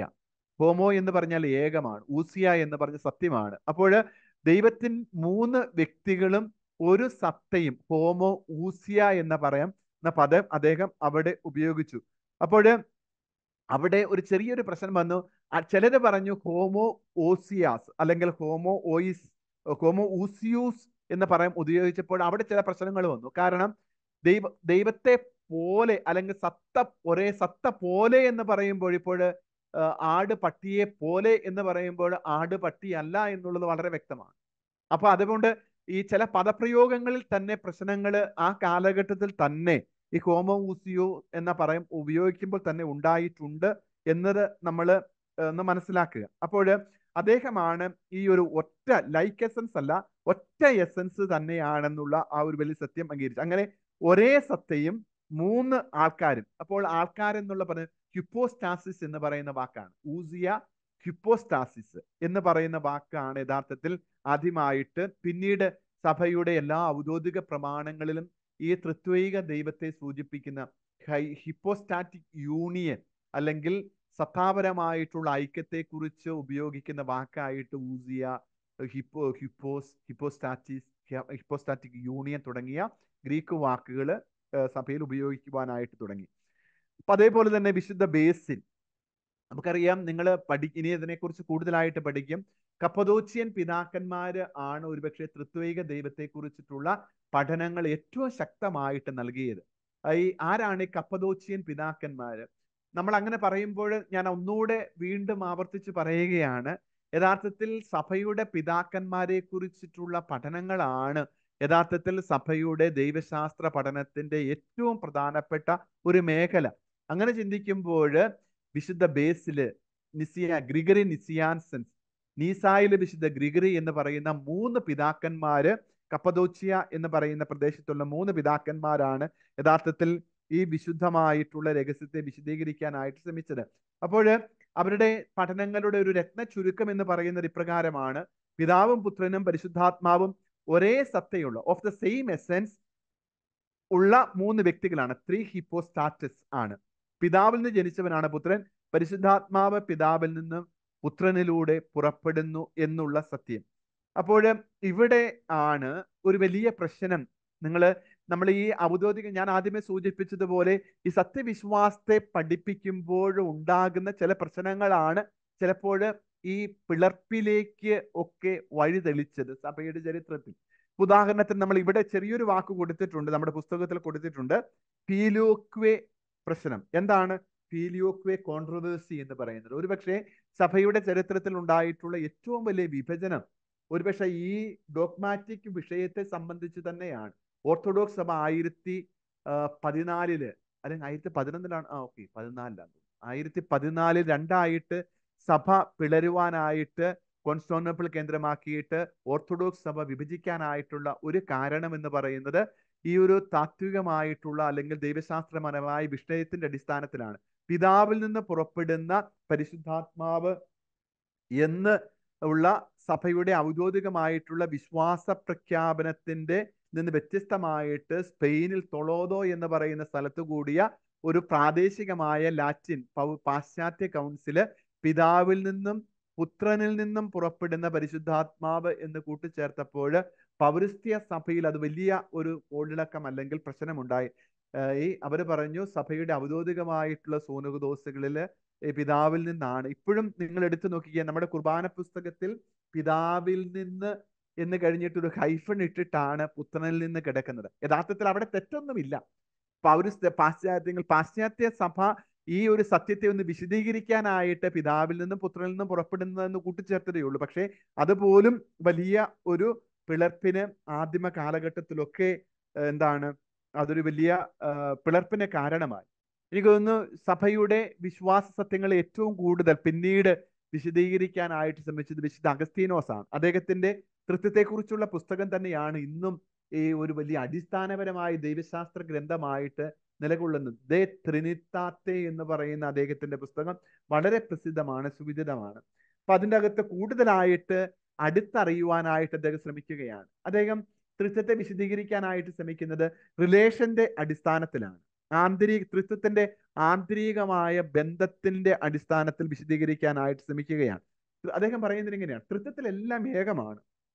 പക്ഷേ തൃത്വത്തിലെ മൂന്നാളുകളുടെ ബന്ധത്തിലുള്ള വ്യതിരിക്തതയാണ് അവരെ വേർതിരിക്കുന്നത്. അതുകൊണ്ട് തൃത്വം എന്ന സത്തയിലുള്ള സാദൃശ്യത്തിലോ ഉള്ള തൃത്വമല്ല എന്ന് പറഞ്ഞാൽ സബ്സ്റ്റൻസിലും ആക്സിഡന്റിലും ഉള്ള തൃത്വമല്ല മറിച്ച് ബന്ധത്തിലുള്ള ത്രിത്വമാണ്. അതായത് സൃഷ്ടിക്കപ്പെടാത്തവൻ അതായത് പിതാവ് ജനിച്ചവനെങ്കിലും സൃഷ്ടിക്കപ്പെടാത്തവൻ പുത്രൻ പിതാവിൽ നിന്നും പുത്രനിൽ നിന്നും പുറപ്പെടുന്നവനുമായ പരിശുദ്ധാത്മാവ് എന്ന് പറഞ്ഞാൽ ബന്ധത്തിലെ ത്രിത്വം. അപ്പോൾ അദ്ദേഹം ഇങ്ങനെ പറയുന്നു trinity of begetting of being begotten and of proceeding അപ്പോൾ അത് ഒന്ന് നല്ല ഒരു ഒരു ചിന്ത നല്ലതെന്നല്ല അത് ഏറ്റവും സുന്ദരമായിട്ടുള്ള ഒരു വലിയ ചിന്തയാണ്. ഇത് നമ്മൾ പെട്ടെന്ന് അങ്ങ് പറഞ്ഞു പോയെങ്കിൽ പോലും വളരെ അദ്ദേഹത്തിന്റെ ആ പുസ്തകം എന്ന് പറയുന്നത് എന്താണ് ഇന്നും അന്നും ഇന്നും എന്നും വളരെ പ്രസക്തമായിട്ട് വളരെ ആഴത്തിലുള്ള വളരെ ശക്തമായിട്ടുള്ള അപസ്തോലിക അല്ലെങ്കിൽ സഭാപിതാക്കന്മാരുടെ കാലഘട്ടത്തിലുള്ള ഒരു പുസ്തകമാണ്. അപ്പോൾ തൃത്വം എന്ന് ദൈവത്തിന്റെ സത്തയിലോ സബ്സ്റ്റൻസിലോ ആക്സിഡന്റിലോ ഈ സബ്സ്റ്റൻസ് ആക്സിഡന്റ് എന്നൊക്കെ പറയുന്നത് നമുക്ക് കുറച്ചും കൂടെ നമ്മൾ ഈ തത്വശാസ്ത്രം പഠിച്ചെങ്കിൽ മാത്രമേ നമുക്ക് മനസ്സിലാകുകയുള്ളൂ. എന്താണ്? പ്രത്യേകിച്ച് അരിസ്റ്റോട്ടോലിയൻ ഫിലോസഫിയുടെ കാറ്റഗറീസിനെ കുറിച്ച് നമ്മൾ മനസ്സിലാക്കിയെങ്കിൽ മാത്രമേ അല്ലെങ്കിൽ മെറ്റഫിസിക്സ് അരിസ്റ്റോട്ടേലിയൻ മെറ്റഫിസിക്സ് പഠിച്ചെങ്കിൽ മാത്രമേ ഈ സബ്സ്റ്റൻസ് ആക്ട് അതേപോലെ ആക്സിഡന്റ് അതേപോലെ പൊട്ടൻസി ആക്ച്വാലിറ്റി പൊട്ടൻഷ്യാലിറ്റി എന്നൊക്കെയുള്ള പദങ്ങളുടെ ഒരു ആഴം നമുക്ക് മനസ്സിലാക്കാനായിട്ട് പറ്റുകയുള്ളൂ. നമുക്ക് ദൈവശാസ്ത്രത്തിൽ ഒരു വിഷയമുണ്ട്. എന്താണ് തത്വശാസ്ത്രം എന്ന് പറയുന്ന ഒരു വിഷയം നമ്മൾ പഠിക്കുന്നുണ്ട്. അത് പിന്നീട് ഒരു പക്ഷേ നമ്മൾ പിന്നീട് ക്ലാസ്സുകളിൽ നമുക്ക് കുറച്ചും കൂടി അത് വ്യക്തമായിട്ട് തരും. അപ്പോൾ അദ്ദേഹം കൊടുക്കുന്ന ഒരു ഒരു അനാലജി തൃത്വത്തെക്കുറിച്ച് ഇത്രയും പറഞ്ഞതിന് ശേഷം അദ്ദേഹം പറയുകയാണ് സബ്സ്റ്റൻസിലോ ആക്സിഡന്റിലോ ഉള്ള തൃത്വമല്ല പിന്നെ ബന്ധത്തിലുള്ള അക്രമ ഒരു ബന്ധത്തിലുള്ള തൃത്വമാണ് യഥാർത്ഥത്തിൽ. Trinity of begetting of being begotten and of proceeding അപ്പൊ അദ്ദേഹം പറയുകയാണ് ഒരു അനാലജി അദ്ദേഹം കൊടുക്കുന്നത് ഇങ്ങനെയാണ്. ദൈവത്തെ ഓർക്കുക റിമംബറിങ് ആണ് അറിയുക അണ്ടർസ്റ്റാൻഡിങ് ആണ് സ്നേഹിക്കുക ലവിങ് ആണ്. അങ്ങനെ മനസ്സിനെ അദ്ദേഹം തൃത്വവുമായിട്ട് ഒരു അനാലജി അദ്ദേഹം കൊടുക്കുന്നുണ്ട്. അപ്പോൾ ഓർമ്മയും സ്നേഹവും അറിവും മൂന്ന് തരത്തിലുള്ള മനസ്സല്ല ഒരു മനസ്സ് തന്നെയാണ്. ഒരു മനസ്സിന്റെ തന്നെ മൂന്ന് എന്താണ് ഭാവങ്ങൾ എന്ന് പറയാൻ പോലും പറ്റുകയില്ല. മൂന്നാണ്. പക്ഷേ ഒരു മനസ്സാണ്. ഓക്കെ അതൊരു അദ്ദേഹം കൊടുക്കുന്ന ഒരു അനാലജിയാണ് അടുത്ത അധ്യായം എന്ന് പറയുന്നത് സഭയുടെ പഠനങ്ങളിൽ എന്താണ് യഥാർത്ഥത്തിൽ തൃത്വത്തെ കുറിച്ചിട്ടുള്ളത്? ഇവിടെയാണ് നമ്മൾ എ ഡി മുന്നൂറ്റി ഇരുപത്തിയഞ്ചിലെ നിക്യാ സോനോഗുദോസിന്റെ മേഖലകളിലേക്കൊക്കെ പോകുന്നത്. മിക്ക നിക്യാ സോനോഗുദോസിന്റെ മേഖലകളിലേക്ക് പോകാനായിട്ടുള്ള കാരണം എന്തിനാണ് സഭയുടെ പിതാക്കന്മാര് ചക്രവർത്തി തന്നെ ഒരു സോനോഗുദോസ് വിളിച്ചു കൂട്ടിയത് ഇവിടെ നമുക്കറിയാം ഞാൻ ആദ്യമേ സൂചിപ്പിച്ച ദൈവശാസ്ത്രത്തിന്റെ ക്ലാസ് എടുത്തപ്പോഴേ പറഞ്ഞു തുടങ്ങിയപ്പോഴേ പറഞ്ഞു നമ്മുടെ അടിസ്ഥാനപരമായിട്ട് ദൈവശാസ്ത്രത്തിന്റെ ഒരു അടിത്തറ അല്ലെങ്കിൽ ദൈവശാസ്ത്രത്തിന്റെ ഒരു ഇംപ്ലിക്കേഷൻസ് ഏറ്റവും ശക്തമായിട്ട് ഉൾക്കൊള്ളുന്ന സഭയുടെ പ്രബോധനങ്ങളിലാണ്. യഥാർത്ഥത്തിൽ സഭയുടെ പ്രബോധനങ്ങൾ തുടങ്ങുന്നത് തന്നെ ആദ്യ നൂറ്റാണ്ടുകളിൽ തന്നെ ഉണ്ട് അപ്പോൾ സഭയുടെ പ്രബോധനങ്ങൾ എന്തുകൊണ്ടാണ് പ്രാധാന്യമുള്ളതായി തീരുന്നത്? സഭയിൽ ഇങ്ങനെയുള്ള പ്രശ്നങ്ങൾ മാത്രമല്ല ഒരു വിഷയത്തെക്കുറിച്ച് ദൈവശാസ്ത്രപരമായ സത്യത്തെക്കുറിച്ച് വിശദീകരിക്കാനായിട്ട് സഭയുടെ പിതാക്കന്മാര് ദൈവജനം ഒരുമിച്ച് കൂടുന്നതാണ് ഏറ്റവും വലിയ സൂനകദോസുകൾ നമുക്കറിയാം അപ്പസ്തോല നടപടികളിൽ തന്നെ ഒരു പ്രശ്നമുണ്ടായി. എന്താണ് പ്രശ്നം? കർത്താവിന്റെ രക്ഷയുടെ വചനം പ്രസംഗിക്കപ്പെട്ടപ്പോൾ അവരുടെ ഇടയിൽ ഒരു ചോദ്യം ഉയർന്നു എന്താണ്? യഹൂദര് മാമൂദീസ ജ്ഞാനസ്നാനം സ്വീകരിച്ചുകൊണ്ട് ക്രിസ്തു മാർഗത്തിലൂടെ ചരിക്കാനായിട്ട് തുടങ്ങിയപ്പോൾ ഒരു താത്വികമായിട്ടുള്ള ദൈവശാസ്ത്രപരമായ പ്രശ്നം ഉയർന്നു എന്താണ്? യഹൂദരുടെ ദൈവത്തിന് സമർപ്പിക്കുന്നതിന്റെ അടയാളമായിട്ട് പരിച്ഛേദനം അവരുടെ ഒരു ആചാരമാണ് അനുഷ്ഠാനമാണ് അവരുടെ ജീവിതത്തിന്റെ ഭാഗമായിരുന്നെങ്കിൽ ക്രിസ്തുവിന്റെ മാർഗം സ്വീകരിക്കുന്നവര് ഇപ്രകാരമുള്ള പരിച്ഛേദനം സ്വീകരിക്കണമോ വേണ്ടയോ എന്നുള്ള ഒരു തർക്കമുണ്ടായി. പൗലോസും യാക്കോബും ഒരു വശത്തും പത്രോസും കൂട്ടരും മറുവശത്തുമായപ്പോൾ അവർ ജെറുസലേമിൽ അവർ ഒരുമിച്ച് കൂടി. യഥാർത്ഥത്തിൽ ആദ്യത്തെ സൂനകുദോസ് എന്ന് പറയുന്നത് ജെറുസലേം സൂനകുദോസ് ഈ ഒരു പ്രശ്നത്തെ അഭിസംബോധന അഡ്രസ്സ് ചെയ്യാൻ വേണ്ടിയിട്ടായിരുന്നു. അപ്പോൾ സഭയുടെ തുടക്കം തന്നെ ഇപ്രകാരമുള്ള വ്യത്യസ്തങ്ങളായിട്ടുള്ള അഭിപ്രായങ്ങൾ ഉണ്ടായപ്പോഴാണ് അതിന്റെ പശ്ചാത്തലത്തിലാണ് ആദ്യമായിട്ട് എന്ത് ഇപ്രകാരമുള്ള കൂട്ടായ്മകൾ കൂട്ടായ്മകളല്ല സൂനകദോസുകൾ ഉണ്ടായത് അപ്പോൾ ആര്യനിസം ക്രിസ്തു ത്രിത്വൈക ദൈവത്തെക്കുറിച്ചുള്ള വിശദീകരിക്കാൻ വേണ്ടിയിട്ട് ഉള്ള ആദ്യത്തെ ഒരു വലിയ ഒരു കൂട്ടായ്മയായിരുന്നു അല്ലെങ്കിൽ സോനകദോസ് ആയിരുന്നു നിക്യ സോനകദോസ് എ ഡി മുന്നൂറ്റി ഇരുപത്തി അഞ്ചിൽ.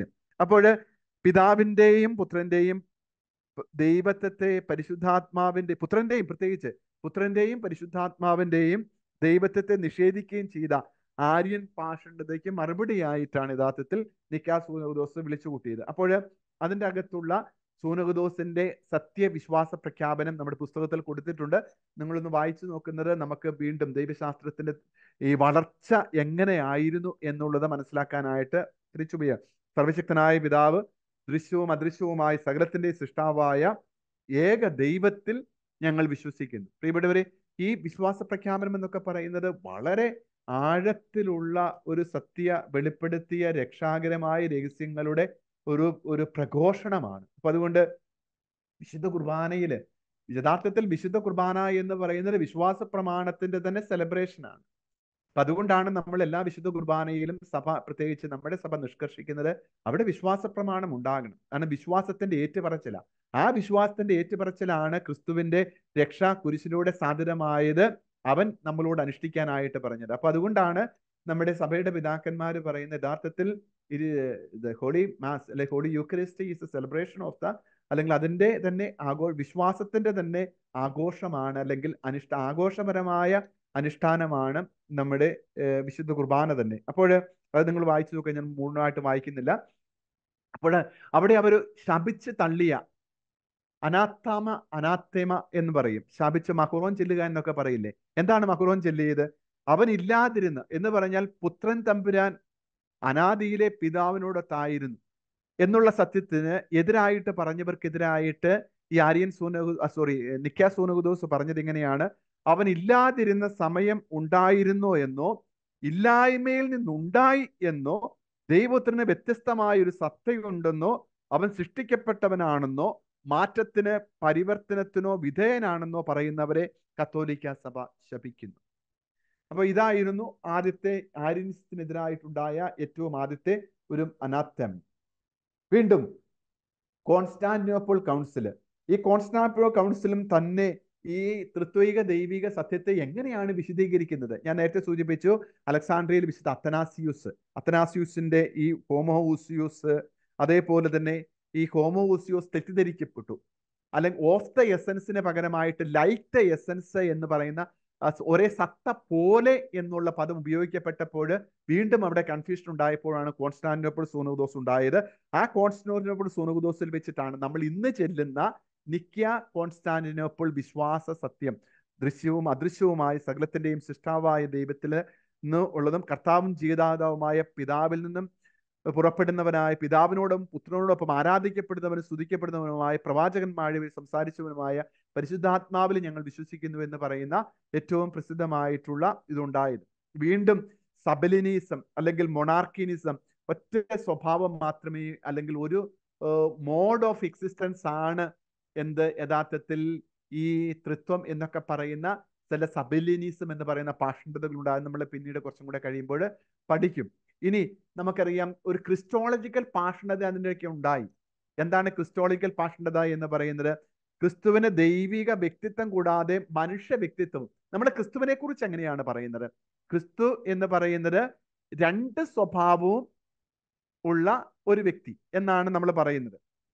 അപ്പോൾ ദൈവിക വ്യക്തിത്വം കൂടാതെ മനുഷ്യ വ്യക്തിത്വവും ഉണ്ട് എന്ന് അല്ലെങ്കിൽ ദൈവ വ്യക്തിത്വവും മനുഷ്യ വ്യക്തിത്വവും ഉണ്ടെന്ന് പറയുന്ന നെസ്തോറിയനിസം എന്ന് പറയുന്ന ആ ഒരു പാഷണ്ഡതയ്ക്കെതിരായിട്ടാണ് എ ഡി നാനൂറ്റി അൻപത്തി ഒന്നിൽ കാൽസിഡോൺ സോനോദോസ് വിളിച്ചു കൂട്ടിയത്. അപ്പോൾ ക്രിസ്തുവിന് ഒരു വ്യക്തിത്വവും രണ്ട് സ്വഭാവമാണെങ്കിൽ ത്രിത്വൈക ദൈവം എന്ന് പറയുന്നത് മൂന്ന് വ്യക്തിത്വവും ഒരേ സത്തയുമാണ്. ഇതാണ് നമ്മൾ ഒറ്റ വാക്കിൽ അതിനെ നമുക്ക് പെട്ടെന്ന് മനസ്സിലാക്കാനായിട്ട് ഉപയോഗിക്കുന്നത്. അപ്പോൾ അത് നമ്മൾ ക്രിസ്റ്റോളജി പഠിക്കുമ്പോൾ കുറച്ചും കൂടെ കൂടുതലായിട്ട് എന്താണ് നെസ്റ്റോറിയനിസം എന്ന് പറയുന്നത് നമ്മൾ പിന്നീട് കൂടുതലായിട്ട് പഠിക്കും. ഇനി തുടങ്ങിയ പിന്നീടുള്ള തൊളോദോ കൗൺസിലിൽ നമ്മൾ നേരത്തെ പറഞ്ഞ തൊളോദോ കൗൺസിൽ ഉണ്ടായിട്ടുള്ള ഫീലോക്കെ പ്രശ്നത്തിന്റെ ഒരു കാരണം നമ്മൾ ചേർത്ത് സൂചിപ്പിച്ചു. നാലാം ലാറ്റിൻ കൗൺസിലുകളൊക്കെ പിന്നീട്. സാർവത്രിക സൂനകുദോസുകൾ ലിയോൺ സൂനകുദോസുകളിൽ പ്രത്യേകിച്ച് ഈ പരിശുദ്ധാത്മാവിനെ കുറിച്ചും തൃത്വേക ദൈവത്തെക്കുറിച്ചും ഒക്കെയുള്ള സൂചനകൾ ശക്തമായിട്ടുണ്ട്. പ്രത്യേകിച്ച് ലിയോൺസിലെ രണ്ടാമത്തെ സൂനുകുദോസുകളിൽ പരിശുദ്ധാത്മാവ് നിത്യമായി പിതാവിൽ നിന്നും പുത്രനിൽ നിന്നും പുറപ്പെടുന്നു. എന്നാൽ ഈ പുറപ്പെടൽ രണ്ട് സ്രോതസ്സുകളിൽ നിന്നുള്ളതല്ല ഒറ്റ സ്രോതസ്സിൽ നിന്നാണ് തുടങ്ങിയ പഠിപ്പീരുകളൊക്കെ ഈ പിന്നീടുള്ള കാലഘട്ടങ്ങളിൽ ഉണ്ടായി പിന്നീട് ഒന്നാം വത്തിക്കാൻ കൗൺസിൽ രണ്ടാം വത്തിക്കാൻ കൗൺസിൽ തൃത്യേക ദൈവത്തെക്കുറിച്ച് കൃത്യമായിട്ടുള്ള ഒരു ഡോക്യുമെന്റ് അല്ലെങ്കിൽ പോലും സഭയെക്കുറിച്ച് പറയുമ്പോഴും വെളിപാടിനെ കുറിച്ച് പറയുമ്പോഴും തൃത്വത്തെക്കുറിച്ച് കൃത്യമായിട്ടുള്ള ഒരു ഒരു പഠിപ്പീര് അതിന്റെ അകത്തുണ്ട്. വീണ്ടും രണ്ടാമന്മാർ ജോൺ പോൾ രണ്ടാമന്മാർ പാപ്പയുടെ കർത്താവും ജീവദാതാവുമാണെന്ന് പറയുന്ന ഒരു വലിയ പ്രമാണരേഖയിൽ എൻസൈക്ലിക്കിൽ ഇതിനെക്കുറിച്ച് തൃത്യേക ദൈവത്തെ കുറിച്ചിട്ടുള്ള പഠനങ്ങൾ കുറച്ചും കൂടെ ആഴത്തിൽ കൊടുത്തിട്ടുണ്ട്. അപ്പോൾ ഇതാണ് നമ്മൾ ഈ മൂന്നാമത്തെ അധ്യായത്തിൽ ഒന്ന് ഓടിച്ച് കാണാനായിട്ട് ശ്രമിച്ചത്. സഭയുടെ പിതാക്കന്മാർ കഴിഞ്ഞു കഴിഞ്ഞാൽ സാർവത്രിക സഭയുടെ സൂനകദോസുകളിലെ പഠനങ്ങൾ എന്തായിരുന്നു എന്നുള്ളത്. നാലാമത്തെ അധ്യായത്തിൽ നമ്മൾ പെട്ടെന്നൊന്ന് കാണാനായിട്ട് പോകുന്നത് യഥാർത്ഥത്തിൽ ഈ പരിശുദ്ധ ത്രിത്വത്തിനെതിരായിട്ടുണ്ടായ പാഷണ്ഡതകൾ എന്തൊക്കെയാണ്? ഞാൻ ഒന്ന് രണ്ടൊക്കെ സൂചിപ്പിച്ചു. അതേപോലെ തന്നെ നമുക്ക് പെട്ടെന്ന് ഒന്ന് നമ്മളൊന്ന് മനസ്സിലാക്കാം. അതിന്റെ ആദ്യ പേജുകൾ പുസ്തകത്തിന്റെ ആദ്യ പേജുകളിൽ നമ്മുടെ യഥാർത്ഥത്തിൽ നിക്കിയ കോൺസ്റ്റാന്റിനോപ്പിൾസ് വിശദീകരിക്കാനായിട്ട് ശ്രമിച്ചിട്ടുള്ള വിശ്വാസ സത്യങ്ങളെ കുറിച്ചിട്ടുള്ള അപ്പാടെ വചനങ്ങളുണ്ട്. അത് ഒന്ന് അനാദിയായിരിക്കുന്ന അതിന്റെ കാര്യങ്ങളൊക്കെ വിശദീകരിച്ചിട്ടുണ്ട്. ആദ്യത്തെ ഒരു പാഷണ്ഡത എന്ന് പറയുന്നത് അഡോപ്ഷനിസമാണ്. എന്ന് പറഞ്ഞു കഴിഞ്ഞാൽ അഡോപ്ഷൻ എന്നുള്ള വാക്ക് തന്നെ നിങ്ങൾക്കറിയാം. എന്താണ് ക്രിസ്തു തൃത്വത്തിലെ രണ്ടാമത്തെ ആളായ പുത്രൻ തമ്പുരാനല്ല പിന്നെയോ ദൈവത്തിന്റെ ദത്തുപുത്രൻ മാത്രമാണ്. എന്ന് പറഞ്ഞാൽ ക്രിസ്തുവിന്റെ ദിവ്യത്വവും ദൈവത്തിന്റെ മനുഷ്യാവതാരവും നിഷേധിച്ച പാഷണ്ഡതയാണ് അഡോപ്ഷനിസം എന്ന് പറയുന്നത്. സബളിനിസം സബളിനിസത്തിന് വേറൊരു പേരാണ് മോഡലിസം എന്നൊക്കെ പറയുന്നത്. എന്താണ്? വലിയ ഇതിന്റെ അകത്ത് പറയുന്ന സബേലി സബേലിയൂസ് എന്ന് പറയുന്ന ഒരു വ്യക്തിയാണ് ഈ ഒരു പാഷണത അല്ലെങ്കിൽ ഇതിനെ മൊണാർക്കിനിസം എന്നൊക്കെ പറയാം. ആഹ് ഓരോരുത്തരും ഇതിനെ വിശദീകരിക്കാനായിട്ട് ശ്രമിച്ചത് ഇങ്ങനെയാണ്. ഇക്കൂട്ടരുടെ ഒരു ചിന്ത പ്രകാരം എന്താണ് യഥാർത്ഥത്തിൽ ദൈവത്വത്തിൽ ഒരു സ്വഭാവവും ഒരു വ്യക്തിത്വം മാത്രമേ ഉള്ളൂ. പിതാവ് പുത്രൻ പരിശുദ്ധാരൂപി എന്ന് പറയുന്നത് മൂന്ന് വ്യക്തികളല്ല പിന്നെയോ ദൈവത്തിന്റെ മൂന്ന് പേരുകൾ മാത്രമാണ്. പിതാവ് തന്നെയാണ് പരിശുദ്ധ കനികാമറിയത്തിൽ നിന്ന് മനുഷ്യ സ്വഭാവത്തോടെ പുത്രൻ എന്ന പേരിൽ പ്രസവിച്ച് എന്താണ് പ്രസംഗിച്ച് നടന്നതും പാടുപീടുകൾ സഹിച്ച് മരിച്ചതും. അതുകൊണ്ട് ഈ കൂട്ടരെ പിന്നീട് എന്താണ് പാട്രി പാസിയാൻസ് പാട്രി പാസിയൻ കാരണം പിതാവ് തന്നെ സഹിച്ചു പിതാവ് തന്നെയാണ് ജനിച്ചത് എന്ന് പറയുന്നത്. അപ്പൊ എന്ന് പറഞ്ഞാൽ ഒറ്റ ദൈവം പിതാവ് പുത്രൻ പരിശുദ്ധാത്മാവ് മൂന്ന് വ്യക്തികളിലല്ല. ക്രിസ്തു എന്ന് പറയുന്നത് പിതാവ് അല്ലെങ്കിൽ ദൈവം തന്നെ അഡോപ്റ്റ് ചെയ്തതാണ്. ക്രിസ്തുവിന്റെ ദൈവത്വവും മനുഷ്യത്വവും നിഷേധിച്ചവരാണ്. അപ്പൊ അത് വ്യത്യസ്തങ്ങളായിട്ടുള്ള എന്താണ് പേരുകളിലും വ്യത്യസ്തങ്ങളായ രീതികളിൽ ഈ ഒരു പാഷണ്ഡത സബേലിനിസം എന്ന് പറയുന്ന പാഷണ്ഡത അഡോപ്ഷനിസം എന്ന് പറയുന്ന പാഷണ്ഡത വ്യത്യസ്ത പേരുകളിൽ അറിയപ്പെടാനായിട്ട് പതുക്കെ തുടങ്ങി. അടുത്തതാണ് ഏറ്റവും തൃത്വീക ദൈവ സത്യത്തിനെതിരായ ഏറ്റവും വലിയ പാഷണ്ഡതയായി തീർന്നത് ആര്യനിസമാണ്. ഞാനത് സൂചിപ്പിച്ചു എന്താണ് ആര്യനിസം എന്ന് പറയുന്നത്. യഥാർത്ഥത്തിൽ ക്രിസ്തു ദൈവമല്ല. അദ്ദേഹം എന്താണ് ദൈവമായിട്ട് കാണപ്പെട്ടതേ ഉള്ളൂ. അദ്ദേഹം ഒരു മനുഷ്യ വ്യക്തിത്വമായിരുന്നു എന്ന് പറയുന്നതായിരുന്നു യഥാർത്ഥത്തിൽ ആര്യൻ പാഷണതയുടെ അടിസ്ഥാനമായിട്ടുള്ള. അപ്പൊ ഇതിന്റെ ഒറിജിൻ ഒക്കെ ഇതിന്റെ അകത്ത് വിശദമായി വിശദീകരിച്ചിട്ടുണ്ട്. ഇതിന് കൃത്യമായിട്ടും യഥാർത്ഥത്തിൽ ലൂസിയാൻ എന്ന് പറയുന്ന ഒരു വ്യക്തിയാണ് ഈ ഒരു വിഷയം രണ്ടാം എ ഡി ഇരുന്നൂറ്റി അൻപത്തി ആറിൽ അവതരിപ്പിച്ചത്. ഈജിപ്തിലാണ് യഥാർത്ഥത്തിൽ ആര്യൂസ് എന്ന് പറയുന്ന വ്യക്തി ഉണ്ടായിരുന്നു. ഈജിപ്തിലാണ് അദ്ദേഹം ജനിച്ചത്. അദ്ദേഹം എന്താണ് അദ്ദേഹത്തിന്റെ ഈ പ്രകാരമുള്ള പഠനങ്ങളിൽ ആകൃഷ്ടരായിട്ടുള്ള മറ്റുള്ളവരാണ് യഥാർത്ഥത്തിൽ ഇതൊരു വലിയ പാഷണ്ഡതയായിട്ട് വളർത്തിയത്. അപ്പോൾ അവിടെയാണ് എ ഡി മുന്നൂറ്റി ഇരുപത്തി അഞ്ചിൽ അപ്പോൾ ആര്യൂസ് പറയുന്നത് ഇങ്ങനെയാണ്. അനാദിയും ഏകനുമായ ദൈവം ഇല്ലായ്മയിൽ നിന്നും ആദ്യം ലോഗോസിനെ അതായത് വചനത്തെ സൃഷ്ടിച്ചു എന്ന് പറഞ്ഞാൽ വചനം ലോഗോസ് എന്ന് പറയുന്ന സൃഷ്ടിയായിട്ട് മാറുകയാണ് അവിടെ. അപ്പോൾ ഇതൊരു വലിയ ഈ ഒരു വലിയ സത്യത്തെ മനസ്സിലാക്കാനായിട്ട് ശ്രമിച്ചപ്പോൾ ഉണ്ടായിട്ടുള്ള ചില അബദ്ധങ്ങളും അല്ലെങ്കിൽ അപഭ്രംശങ്ങളുമാണ് പിന്നീട് ഇത് ആര്യ ആര്യനിസമായിട്ട് മാറിയത്.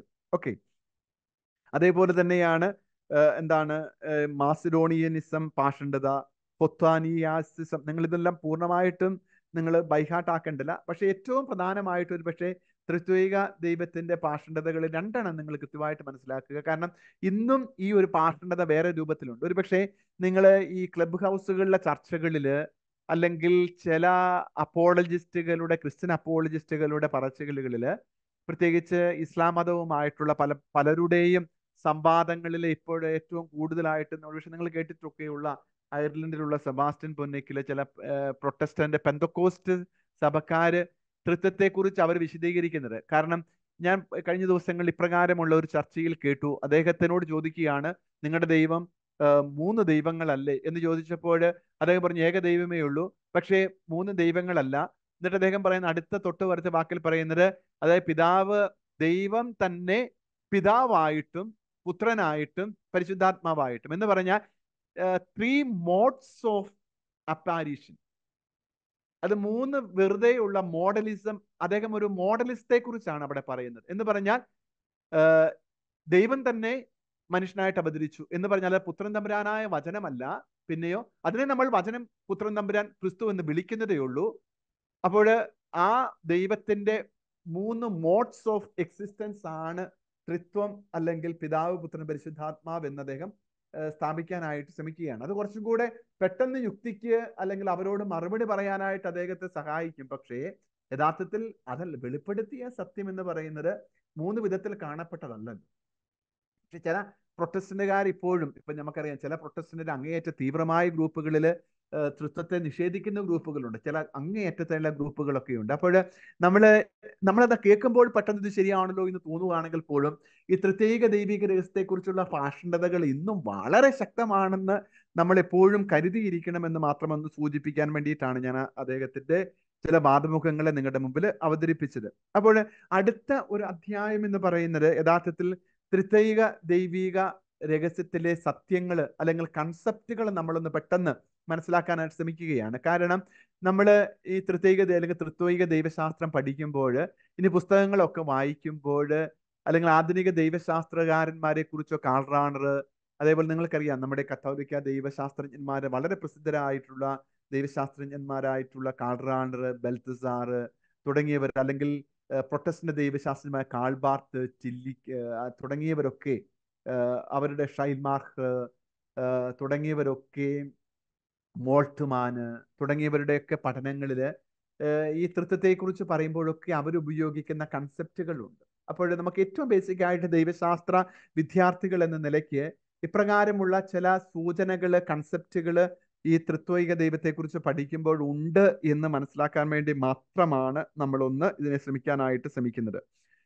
സിർക്കുമിൻസിസിയോ എന്നൊക്കെ പറയുന്ന പെരിക്കൊറേസിസ് ഊസിയ ഹിപ്പോസ്റ്റാസിസ് ക്യുപ്പോസ്റ്റാസിസ് ഹിപ്പോസ്റ്റാറ്റിക് യൂണിയന് സുബ്സ്റ്റാൻസ സുബ്സ്റ്റൻസ് പേഴ്സോണ തുടങ്ങിയ വാക്കുകൾ അർത്ഥമാക്കുന്നത് എന്താണ് എന്നുള്ളതാണ് നമ്മളിവിടെ ഒന്ന് മനസ്സിലാക്കാനായിട്ട് ശ്രമിക്കുന്നത്.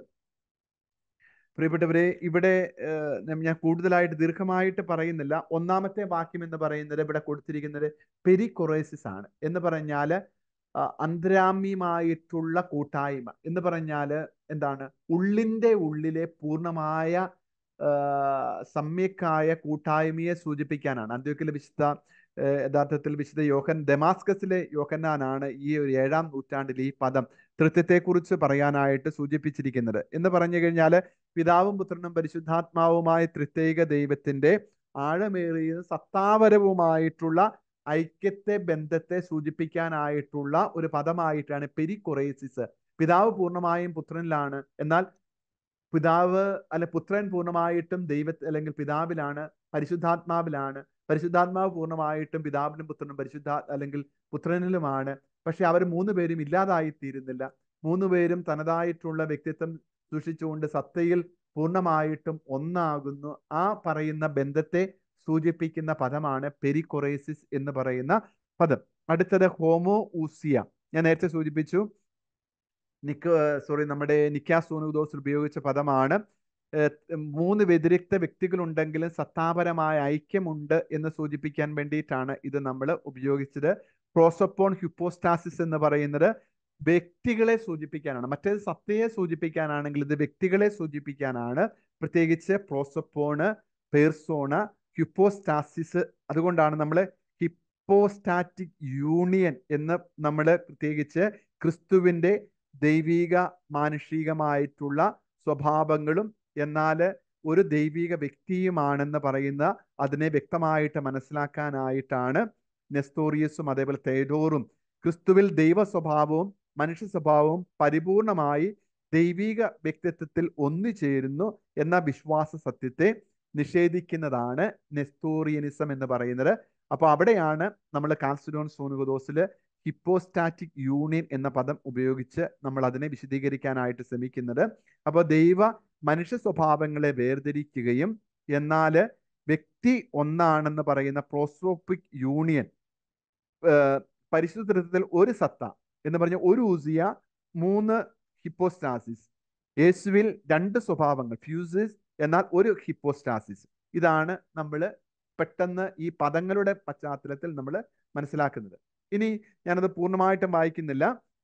ഞാൻ സൂചിപ്പിച്ചതുപോലെ നമുക്ക് കുറച്ചും കൂടെ മനസ്സിലാക്കുവാനായിട്ട് കാറ്റഗിസം ഓഫ് ദ കാത്തലിക് ചർച്ചിൽ പരിശുദ്ധ ധൃത്തത്തെ കുറിച്ചിട്ടുള്ള ഒരു വിശദമായിട്ടുള്ള അധ്യായങ്ങൾ തന്നെ കിടപ്പുണ്ട്. അത് നിങ്ങളൊന്ന് ഒന്ന് മനസ്സിലാക്കുക.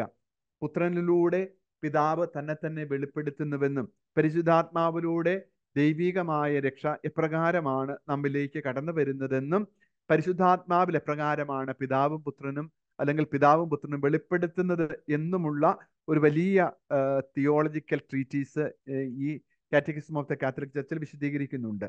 ഓക്കെ അപ്പോൾ ഇതാണ് ഒരുപക്ഷെ നമ്മുടെ ഒരു താത്വികമായിട്ടുള്ള പഠനത്തിന്റെ ഒരു ആരംഭം എന്ന നിലയ്ക്കുള്ള നമ്മളുടെ ഈ ഒരു പഠനത്തിന്റെ ആമുഖം എന്ന് പറയുന്നത്. പ്രിയപ്പെട്ടവർ ഇത് നമുക്കറിയാം ദൈവശാസ്ത്ര ബി ടി എച്ചിന്റെ പഠനത്തിന്റെ ഒരു പ്രധാനപ്പെട്ട വിഷയമാണ്. നമ്മൾ ഈ രണ്ടു മണിക്കൂർ കൊണ്ട് അല്ലെങ്കിൽ നമ്മൾ ഈ ഒന്നര മണിക്കൂറും കൊണ്ട് പറഞ്ഞു പോകുന്ന ഒരു വിഷയമല്ല യഥാർത്ഥത്തിൽ. അതുകൊണ്ട് എനിക്ക് ഈ തൃത്വത്തെക്കുറിച്ച് പഠിപ്പിക്കുമ്പോൾ ക്ലാസ് എടുക്കുമ്പോഴൊക്കെ സത്യം പറഞ്ഞ പേടിയുണ്ട്. കാരണം നമ്മൾ പറയുന്ന കാര്യങ്ങൾ മാനുഷികമായിട്ട് വിശദീകരിക്കാൻ പറ്റുന്ന കാര്യങ്ങൾ അത് വിശുദ്ധ വചനത്തെക്കുറിച്ച് ദൈവികമായി വെളിപ്പെടുത്തപ്പെട്ട രക്ഷാകര സത്യത്തെക്കുറിച്ച് എങ്ങനെയാണ് നമുക്ക് പറയാനായിട്ട് പറ്റുന്നത്? അല്ലെങ്കിൽ എങ്ങനെയാണ് നമുക്ക് വിശദീകരിക്കാൻ മാനുഷികമായിട്ട് വിശദീകരിക്കാനായിട്ട് പറ്റുന്നത് എന്നുള്ള എപ്പോഴും ഒരു ഉള്ളിൽ ഒരു ചോദ്യം കൊണ്ടാണ് ഞാനത് വിശദീകരിക്കാൻ ശ്രമിക്കുന്നത്. പക്ഷേ നമുക്ക് ഏറ്റവും ബേസിക് ആയിട്ടുള്ള കുറച്ച് കാര്യങ്ങൾ നമുക്കൊന്ന് അടിസ്ഥാനപരമായിട്ട് മനസ്സിലാക്കാൻ ശ്രമിക്കുന്നു എന്ന് മാത്രമേ ഉള്ളൂ. നമ്മൾ അടുത്ത പറഞ്ഞ് നിങ്ങളോട് സൂചിപ്പിച്ചതുപോലെ തന്നെ ആറാം അധ്യായം മുതൽ ആ ഒരു ദൈവശാസ്ത്രജ്ഞന്റെ തന്നെ ഒരു വിശദീക ഒരു പുസ്തകത്തിന്റെ തന്നെ ഏതാനും അധ്യായങ്ങൾ കൊടുത്തതാണ്. നമ്മൾ എന്താണ് ക്രിസ്തു അല്ലെങ്കിൽ പിതാവ് പുത്രൻ പരിശുദ്ധാത്മാവ് എന്ന് പറയുന്ന ആ വലിയ ദൈവിക സത്യം എന്ന് പറയുന്ന ദൈവം ഏകാന്തനല്ല എന്ന് പറഞ്ഞുകൊണ്ട് അല്ല പറഞ്ഞ ഏകാഗ്രതയിൽ നിന്ന് മൂന്ന് വ്യക്തികളുടെ കൂട്ടായ്മയിലേക്ക് നമ്മൾ പോകുന്നതാണ്. അതൊരു യഥാർത്ഥ സമൂഹത്തിന്റെ പരിച്ഛേദമാണ്. കുടുംബത്തിന്റെ അടിസ്ഥാനമാണ് ഈ തൃത്വൈക കൂട്ടായ്മ എന്ന് പറയുന്നത്. ഏതൊരു സമൂഹത്തിന്റെ കൂട്ടായ്മയുടെ അടിസ്ഥാനം ത്രിത്വൈക ഭാവമാണ്. ഇതാണ് ഒരുപക്ഷെ എനിക്ക് ഏറ്റവും നമുക്ക് ഏതൊന്നിനെക്കുറിച്ചും മാനുഷികമായിട്ടുള്ള ഏതൊന്നിനെ കുറിച്ചും ഏതൊരു സമൂഹത്തെക്കുറിച്ചും കൂട്ടായ്മയെക്കുറിച്ച് ചിന്തിക്കുമ്പോൾ അതിന്റെ ഏറ്റവും വലിയ വെളിപ്പെടുത്തലുകൾ സാധ്യതമാകുന്നത് ത്രിയേക ദൈവത്തിന്റെ ചിന്തയിലാണ് എത്തിപ്പോയി എത്തി നിൽക്കുന്നത്. അപ്പം ഈ ഒരു വലിയ സത്യത്തെ മനസ്സിലാക്കുവാനായിട്ടുള്ള ഒരു വലിയ ശക്തി എന്താണ് അനാദി മുതലേ ഉണ്ടായിരുന്ന ഈ ഒരു വലിയ കൂട്ടായ്മയെക്കുറിച്ച്. അനന്തവും നിത്യവും ഏകവുമായ സത്തയുടെ ഏകാഗ്രതയല്ല ആദിയിലെ ഉണ്ടായിരുന്നത്. പിന്നെയോ മൂന്ന് അനന്യ വ്യക്തികളുടെ കൂട്ടായ്മയാണെന്നുള്ള ആ ഒരു വലിയ വസ്തുത്വം എന്തുകൊണ്ടാണ് മൂന്ന് ദൈവിക വ്യക്തികൾ? എന്തുകൊണ്ട് രണ്ടോ ഒന്നോ മാത്രമല്ല എന്നതിനെക്കുറിച്ച് ഒരു ദൈവശാസ്ത്രപരമായ വിശദീകരണം കിടപ്പുണ്ട്. മൂന്ന് വ്യക്തികളും ഒരേ ദൈവമാണെന്ന് പറയുമ്പോൾ ഒരു പ്രശ്ന ഈ നമ്മളെപ്പോഴുമുള്ള ഒരു പ്രശ്നം അതാണത്. പക്ഷെ തൃത്വത്തിന്റെ വിശ്വാസത്തെ ഏറ്റവും വലിയ സത്യത്തെ നമ്മൾ മനസ്സിലാക്കേണ്ടത് പിതാവ് പുത്രൻ പരിശുദ്ധാത്മാവ് എന്നിവ നമ്മൾ ഗണിതശാസ്ത്രത്തിന്റെ യുക്തി കൊണ്ടല്ല നമ്മൾ മനസ്സിലാക്കേണ്ടത്. എന്ന് പറഞ്ഞാൽ ഒന്ന് പ്ലസ് ഒന്ന് പ്ലസ് ഒന്ന് എന്നുള്ള യുക്തി കൊണ്ടല്ല. അതിനേക്കാൾ ഉപരിയായിട്ട് യഥാർത്ഥത്തിൽ ഇതൊരു വലിയ പെരിക്കുറൈസിസ്. പൂർണമായിട്ടും പിതാവ് പുത്രനിലും പരിശുദ്ധാത്മാവിനും ആയിരിക്കുന്ന അന്തർവ്യാപന തത്വം അല്ലെങ്കിൽ പെരിക്കൊറേസിസ് ആണ് ഇത് എന്നുള്ള ആ ഒരു വലിയ ബോധ്യത്തെ നമ്മൾ മനസ്സിലാക്കുവാനായിട്ട് ഒന്ന് ശ്രമിക്കുകയാണ്. അപ്പൊ അത് അത് വിശദീകരിക്കുന്നതാണ് നമ്മുടെ ഇദ്ദേഹത്തിന്റെ ഈ ഒരു ഇത്. അപ്പോൾ ഏകാഗ്രതയല്ല പിന്നെയോ കൂട്ടായ്മയാണ് എല്ലാ ബന്ധങ്ങളുടെയും എല്ലാ നന്മകളുടെയും അടിസ്ഥാനമെന്നും എല്ലാ പൂർണത ഈ ഒരു ബന്ധത്തിലാണ്. എപ്പോൾ രണ്ടാകുമ്പോൾ പോലും എക്സ്ക്ലൂസീവിസം ഉണ്ട്. എന്ന് പറഞ്ഞു കഴിഞ്ഞാൽ രണ്ട് എന്ന് പറയുന്നത് എപ്പോഴും ഒരു എക്സ്ക്ലൂസീവ്നെസ്സിനെ സൂചിപ്പിക്കുന്നതാണ്. അപ്പൊ അതുകൊണ്ടാണ് ത്രിയേക ദൈവമാണ് എപ്പോഴും പൂർണതയുടെ അടയാളമായിട്ട് വചനത്തിൽ മാത്രമല്ല നമ്മുടെ ഒരു സാമാന്യ ബുദ്ധിയുടെ റാഷണലിസത്തിന്റെയും അടിസ്ഥാനത്തിൽ രണ്ടെന്ന് പറയുന്നത് എപ്പോഴും എക്സ്ക്ലൂസീവാണ് മൂന്നെന്ന് പറയുന്നത് എപ്പോഴും അവിടെ അപരനെ ഉൾക്കൊള്ളുന്ന ഒരു അപരത്വത്തിലേക്ക് എപ്പോഴും നയിക്കുന്നതാണ്. അപ്പൊ അതുകൊണ്ടാണ് ത്രിത്വൈക ദൈവം എന്ന് പറയുന്നത് എപ്പോഴും ഏറ്റവും വലിയ കൂട്ടായ്മയുടെ അടിസ്ഥാനമാണ് എന്നുള്ള ചിന്ത. ഇനി അടുത്ത് അതെപ്പോഴും എന്താണ്? ഈ രണ്ടെന്ന് പറയുന്നതും ഒന്നെന്ന് പറയുന്നതും ഒക്കെ എപ്പോഴും ഒരുപക്ഷെ പാച്യാർക്കിസത്തിലേക്കും എക്സ്ക്ലൂസീവത്തിലേക്കും അതേപോലെ എന്താണ് ഒരു ഏകാധിപത്യത്തിലേക്കും ഒക്കെ നയിക്കുന്നതാണ് എന്നുള്ള ഒരു ദൈവശാസ്ത്രപരമായിട്ടുള്ള വിശദീകരണങ്ങളാണ് അധ്യായങ്ങളിൽ കൂടെ കാണുന്നത്. എന്റെ ഇവിടെ കറണ്ട് പോയത് കൊണ്ടാട്ടോ ഇടയ്ക്കിടയ്ക്ക് ഇത് മങ്ങിപ്പോകുന്നത്. കറണ്ട് ഇല്ല ഇവിടെ. ഓക്കെ അടുത്തത് പരിശുദ്ധ ത്രിത്വത്തിന്റെ ശിഥിലീകൃത ഭാവം എന്ന് പറയുന്ന ഒരു ഒരു പോർഷൻ അവിടെ കൊടുത്തിട്ടുണ്ട്. അത് ഇത്രയേ ഉള്ളൂ. അത് നിങ്ങൾ വായിച്ചു നോക്കി പെട്ടെന്ന് മനസ്സിലാകുന്നുള്ളൂ ചിലര് പിതാവിലേക്ക് മാത്രം എന്ന് പറഞ്ഞാൽ പിതാവ് മാത്രമാണ് ദൈവം. അപ്പൊ പതുക്കെ പതുക്കെ പുത്രൻ തമ്പുരാന്റെയും പരിശുദ്ധാത്മാവിന്റെയും റോളുകൾ പതുക്കെ ഇല്ലാതാകുന്നു അല്ലെങ്കിൽ കുറയ്ക്കുന്നു. ചിലര് പുത്രൻ മാത്രമേ ഉള്ളൂ പിതാവിന്റെയും പരിശുദ്ധാത്മാവിന്റെയും ഇല്ല. ഇപ്പോൾ ഏറ്റവും പുതിയ മൂവ്മെന്റ് അനുസരിച്ച് പരിശുദ്ധാത്മാവിലേക്ക് മാത്രം ഒതുങ്ങുന്ന പ്രാർത്ഥനകളും ചിന്തകളും ദൈവശാസ്ത്ര വിശകലനങ്ങളും മാത്രം വരുമ്പോൾ അതുകൊണ്ടാണ് ത്രിത്വൈക ദൈവത്തിന്റെ ശിഥിലീകൃത ഭാവം എന്ന് പറഞ്ഞുകൊണ്ട് ടൈറ്റിൽ തന്നെ കൊടുത്തിരിക്കുന്നത്. യഥാർത്ഥത്തിൽ ഇപ്രകാരമുള്ള ഒരു എക്സ്ക്ലൂസീവ് ആയിട്ട് ഈ സത്യദൈവത്തെ വിശദീകരിക്കാനായിട്ട് ശ്രമിക്കുന്നതാണ്. ഇനി അന്തർവ്യാപനം അതാണ് യഥാർത്ഥത്തിൽ നമ്മൾ നേരത്തെ പറഞ്ഞ ഈ പെരിക്കുറൈസിസ് എന്ന് പറയുന്നത്. ലളിതമായി പറഞ്ഞാൽ പിതാവ് ജീവനും സ്നേഹവും ചൊരിഞ്ഞുകൊണ്ട് എന്നും പുത്രനിലായിരിക്കുന്നു. പുത്രനാകട്ടെ പിതാവിനെ അറിഞ്ഞുകൊണ്ടും പിതാവുമായി അംഗീകരി പിതാവിനെ പിതാവായി അംഗീകരിച്ചുകൊണ്ടും എന്നും പിതാവിലായിരിക്കുന്നു. സ്നേഹത്തിന്റെയും ജീവന്റെയും പരസ്പര പ്രകാശനമായി പിതാവും പുത്രനും പരിശുദ്ധാത്മാവിലായിരിക്കും ഒരുപക്ഷെ വളരെ ലളിതമായിട്ടാണ് നമ്മളത് പറയുന്നുവെങ്കിൽ പോലും ഒരു വലിയ സത്യത്തിന്റെ ഒരു മാനുഷികമായിട്ടുള്ള വിശദീകരണമാണ് അപ്പോൾ പിതാവും പുത്രനും പിതാവും അല്ല സോറി പുത്രനും പരിശുദ്ധാത്മാവും പിതാവിന്റെ ഇരു കരങ്ങളാണെന്നൊക്കെ പറയുന്ന യഥാർത്ഥത്തിലുള്ള ഒരു വലിയ പഠനങ്ങളൊക്കെ അല്ലെങ്കിൽ സഭാപിതാക്കന്മാരുടെ വിശദീകരണങ്ങളുണ്ട്. ഇനി ഈ കാൾറാണർ ഒക്കെ നമ്മൾ നമ്മൾ ആധുനിക ദൈവശാസ്ത്രജ്ഞന്മാരുടെ അധികം നമ്മൾ പഠിച്ചിട്ടില്ല. യഥാർത്ഥത്തിൽ അവരൊക്കെ പറഞ്ഞു വരുന്നത് യഥാർത്ഥത്തിൽ തൃത്വത്തിൽ എന്തായിരിക്കുന്നുവോ അത് തന്നെയാണ് എന്താണ് വെളിപ്പെടുത്തപ്പെട്ട തൃത്വവും എന്തായിരുന്ന ദൈവം തന്നെയാണോ അത് തന്നെയാണ് മാനിഫെസ്റ്റഡ് ആയിട്ടുള്ള തൃത്വവും അല്ലെങ്കിൽ പിതാ മാനിഫെസ്റ്റഡ് ആയിട്ടുള്ള ത്രിത്വവും. അപ്പൊ അത് നമ്മളൊന്ന് പിന്നീട് അതിനെക്കുറിച്ച് കൂടുതലായിട്ട് പഠിക്കുമ്പോൾ ആധുനിക ദൈവശാസ്ത്രത്തെക്കുറിച്ച് കൂടുതലായിട്ട് പഠിക്കുമ്പോൾ നമ്മൾ അതിനെക്കുറിച്ച് മനസ്സിലാക്കുന്നതാണ് അപ്പൊ ഞാൻ തൽക്കാലം ഇവിടെ നിർത്തുകയാണ്. കാരണം അടുത്തുള്ള അധ്യായങ്ങളൊക്കെ ഇദ്ദേഹത്തിന്റെ തന്നെ ഈ പുസ്തകത്തിന്റെ തന്നെ പിതാവിന്റെ ആർദ്രത പുത്രൻ തമ്പുരാന്റെ രക്ഷ പരിശുദ്ധാത്മാവിന്റെ വലിയ പരിപാലനം മാത്രമല്ല ദൈവിക രക്ഷാരഹസ്യങ്ങൾ എങ്ങനെയാണ് അവൻ നമ്മിലേക്ക് കടന്നു വരുന്നത് പുത്രൻ എന്ന വ്യക്തി വിമോചനത്തിന്റെ അടയാളമായി തീരുന്നത് എങ്ങനെയാണ് പരിശുദ്ധാത്മാവ് എങ്ങനെയാണ് രക്ഷയുടെ അടയാളമായി തീരുന്നത് സ്നേഹത്തിന്റെ അടിത്തറ എങ്ങനെയാണ് പരിശുദ്ധാത്മാവിലൂടെ വെളിപ്പെടുന്നത് തുടങ്ങിയ കാര്യങ്ങളൊക്കെയാണ്. ഏറ്റവും അവസാനത്തെ അധ്യായം എന്ന് പറയുന്നത് ഒരുപക്ഷെ നമ്മളുടെ പൗരസ്ത്യ ആരാധനാ ക്രമത്തിൽ ത്രിത്വൈക ദൈവത്തിന്റെ പങ്കിനെ അല്ലെങ്കിൽ ത്രിത്വൈക ദൈവത്തെ എങ്ങനെയാണ് അവതരിപ്പിക്കുന്നത്? നമുക്കറിയാം ദൈവശാസ്ത്രത്തിന്റെ ആരംഭ ക്ലാസ്സുകളിൽ നിങ്ങൾ പഠിച്ചിട്ടുണ്ട്.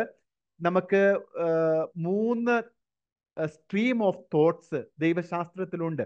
പാശ്ചാത്യവും പൗരസ്ത്യവും അതേപോലെ തന്നെ നമ്മുടെ പാശ്ചാത്യം പൗരസ്ത്യ നമ്മുടെ അന്ത്യോക്യൻ സ്കൂൾ അലക്സാൻഡ്രിയൻ സ്കൂൾ അതേപോലെ സിറിയൻ സ്കൂളുകൾ എന്താണ് എന്താണ് അലക്സാൻഡ്രിയൻ അന്ത്യോക്യൻ സിറിയൻ സ്കൂളുകൾ എന്ന് പറഞ്ഞാൽ ദൈവശാസ്ത്രത്തിന്റെ തുടക്കത്തിന്റെ ആരംഭത്തിൽ നമ്മുടെ സഭയുടെ പിതാക്കന്മാരുടെ കാലഘട്ടത്തിൽ തന്നെ ദൈവശാസ്ത്രപരമായിട്ടുള്ള ഊന്നലുകൾ വ്യത്യസ്തങ്ങളായിട്ട് നൽകിയിട്ടുള്ള സ്കൂളുകളാണ് അല്ലെങ്കിൽ ട്രഡീഷൻസ് ആണ് അല്ലെങ്കിൽ ദൈവശാസ്ത്ര പാരമ്പര്യങ്ങളാണ് ഈ മൂന്ന് സ്ട്രീംസ് ഓഫ് തോട്ട് എന്നൊക്കെ പറയുന്നത്. അപ്പോൾ അതിൽ നമ്മുടെ പൗരസ്ത്യ ദൈവശാസ്ത്ര വീക്ഷണത്തിൽ യഥാർത്ഥത്തിൽ പരിശുദ്ധാത്മ വിജ്ഞാനീയത്തിന് പ്രാധാന്യം കൊടുക്കുന്ന ഒരു ചിന്താഗതികൾ ശക്തമായിട്ടുണ്ടായിരുന്നു. കാരണം പൗരസ്ത്യ ആധ്യാത്മികത അപ്രകാരമായിരുന്നു. നമ്മൾ നമ്മൾ വീണ്ടും നമ്മൾ കണ്ടതാണ് പ്രധാനമായിട്ട് ആരാധനാക്രമ ഗ്രന്ഥങ്ങളും സഭാപിതാക്കന്മാരുടെ പ്രബോധനങ്ങളൊക്കെ അടിസ്ഥാനത്തിൽ സഭയുടെ പാരമ്പര്യങ്ങളെക്കുറിച്ച് പഠിക്കുമ്പോൾ ഇപ്രകാരമുള്ള വ്യത്യസ്തങ്ങളായിട്ടുള്ള ദൈവശാസ്ത്രപരമായ സ്ട്രീംസ് ഓഫ് തോട്ട് നമ്മൾ പല തരത്തിൽ നമുക്ക് കാണാനായിട്ട് പറ്റും. അപ്പോൾ നമ്മൾ ഈ പൗരസ്ത്യ ആരാധനാക്രമത്തെ സംബന്ധിച്ചിടത്തോളം തൃത്വം എന്ന് പറയുന്നത് ഒരു താർക്കികമായിട്ടുള്ള രഹസ്യമല്ല. പിന്നെയോ ഇത് രക്ഷാകരമായ രഹസ്യമാണ്. ദൈവാനുഭവത്തിന്റെ തലത്തിലാണ് നമ്മൾ അതിനെ മനസ്സിലാക്കാനായിട്ട് ശ്രമിക്കുന്നത്. അപ്പോൾ ഇതിന്റെ അടിസ്ഥാനത്തിൽ എപ്രകാരമാണ് പിതാവ് പൂർണമായിട്ടും നിത്യമായിട്ടും പിത എന്താണ്? പിതാവിലും പുത്രൻ പൂർണമായിട്ടും പിതാവിലും റൂഹായിലും റൂഹ പൂർണമായിട്ട് നിത്യമായും പിതാവിലും പുത്രനിലും എന്നൊക്കെ പറയുന്ന അടിസ്ഥാനപരമായിട്ടുള്ള ഈ അന്തർവ്യാപനത്തിന്റെ ചിന്തകളാണ് ദൈവശാസ്ത്രപരമായ ചിന്തകളാണ് പൗരസ്ത്യ ആധ്യാത്മികതയിൽ. അതിൽ ഏറ്റവും കൂടുതലായിട്ട് പരിശുദ്ധാത്മാവിന്റെ പ്രാധാന്യത്തെ കുറിച്ചിട്ടുള്ള ചിന്തകൾ ഈ ഒരു പൗരസ്ത്യ ചിന്തകളിൽ ദൈവശാസ്ത്ര ചിന്തകളിൽ നമുക്ക് കാണാനായിട്ട് പറ്റും. ഓക്കെ ഇതാണ് നമുക്ക് ഞാൻ തൽക്കാലം പെട്ടെന്ന് അവസാനിപ്പിക്കുമ്പോൾ പറഞ്ഞ് അവസാനിപ്പിക്കുന്നത്. നമുക്ക് ഈ ഒരു കുറച്ച് സമയം കൊണ്ട് നമുക്ക് എന്തെങ്കിലും നിങ്ങൾക്ക് ആർക്കെങ്കിലും ചോദ്യങ്ങൾ നമ്മൾ ഇപ്പൊ പഠിച്ച കാര്യങ്ങളെക്കുറിച്ചോ കേട്ട കാര്യങ്ങളെക്കുറിച്ചോ എന്തെങ്കിലുമൊക്കെ ചോദ്യങ്ങൾ ചോദിക്കാനുണ്ടെങ്കിൽ നിങ്ങൾക്ക് ഒന്ന് നിങ്ങളുടെ മ്യൂട്ടായിട്ടാണ് എല്ലാവരുടെയും ഫോൺ ഇരിക്കുന്നത് അൺമ്യൂട്ട് ചെയ്തിട്ട് നിങ്ങൾക്ക് ചോദിക്കാനുള്ള സമയമാണ്. ഞാൻ നമുക്ക് സാമാന്യ ബുദ്ധിയിൽ നമുക്ക് മനസ്സിലാക്കാൻ പറ്റുന്ന കാര്യങ്ങളെ കുറിച്ച് പറയുമ്പോൾ ഒരുപക്ഷെ ഒരു താത്വികമായിട്ട് നമുക്ക് ഈ തൃത്വത്തെ കുറിച്ച് മനസ്സിലാക്കുമ്പോൾ നമ്മുടെ ഒരു ചോദ്യം ഇത് തന്നെയാണ്. നമ്മളത് ദൈവശാസ്ത്ര തത്വ തത്വശാസ്ത്രത്തിന്റെ അടിസ്ഥാനപരമായ ചോദ്യം ഇത് തന്നെയാണ്. എന്താണ്? ദൈവത്തിന്റെ സൃഷ്ടിയെക്കുറിച്ചുള്ള ചോദ്യം തന്നെ നമുക്ക് ഈ തൃത്വേക ദൈവത്തിലേക്ക് എത്തിച്ചേർക്കാനായിട്ട് പറ്റും. കാരണം എന്തുകൊണ്ടാണ് സൃഷ്ടി എന്നുള്ളൊരു ചോദ്യം തന്നെയുണ്ട്. അപ്പോൾ സൃഷ്ടിയുടെ കാരണത്തെക്കുറിച്ച് നമ്മൾ റെവലേഷനെ കുറിച്ചും സൃഷ്ടി എന്ന് പറയുന്ന വിഷയമൊക്കെ പഠിക്കുമ്പോൾ മനസ്സിലാക്കാനായിട്ട് ശ്രമിക്കുന്ന ഒരു വസ്തുതയാണ്. അപ്പോൾ ദൈവ തത്വചിന്തകന്മാർ ചോദിക്കുന്ന ഒരു ചോദ്യം തന്നെ നമുക്ക് ഈ ദൈവശാസ്ത്രത്തിന്റെ അടിത്തറയായിട്ട് നമുക്ക് കരുതാനായിട്ട് പറ്റും. ആ ചോദ്യം ഇങ്ങനെ തന്നെയാണ്. Why there is something rather than nothing ആ ചോദ്യം നമ്മൾ ഒന്ന് ഒന്ന് തന്നെ ഒന്ന് ചിന്തിക്കുകയാണെങ്കിൽ ഈ ഞായറാഴ്ച ഒരുപക്ഷെ നല്ല ഒരു ചിന്തയ്ക്ക് അല്ലെങ്കിൽ നമ്മുടെ തന്നെ ദൈവം തന്ന ലോഗോസ് ബുദ്ധി റീസൺ ഉപയോഗിച്ചുകൊണ്ട് ചിന്തിക്കാൻ പറ്റുന്ന ഒരു ഒരു മേഖല തന്നെയാണ്. Why there is something rather than nothing അല്ലെങ്കിൽ ഈ സൃഷ്ടിയുടെ കാരണം എന്താണ്? എന്തിനാണ് സൃഷ്ടിക്കപ്പെട്ടത്? അല്ലെങ്കിൽ ഈ ഭൂമിയുടെ സൃഷ്ടിയുടെ കാരണം എന്താണ്? ഈ സൃഷ്ടി കൊണ്ട് ദൈവത്തിന് കൂടുതലായിട്ട് എന്തെങ്കിലും ഉണ്ടായോ? അല്ലെങ്കിൽ ദൈവത്തിന്റെ കൂടുതലായിട്ടുള്ള എന്തെങ്കിലും ആണോ? അല്ലെങ്കിൽ സൃഷ്ടിയുടെ അടിസ്ഥാനപരമായ കാരണം എന്താണ്?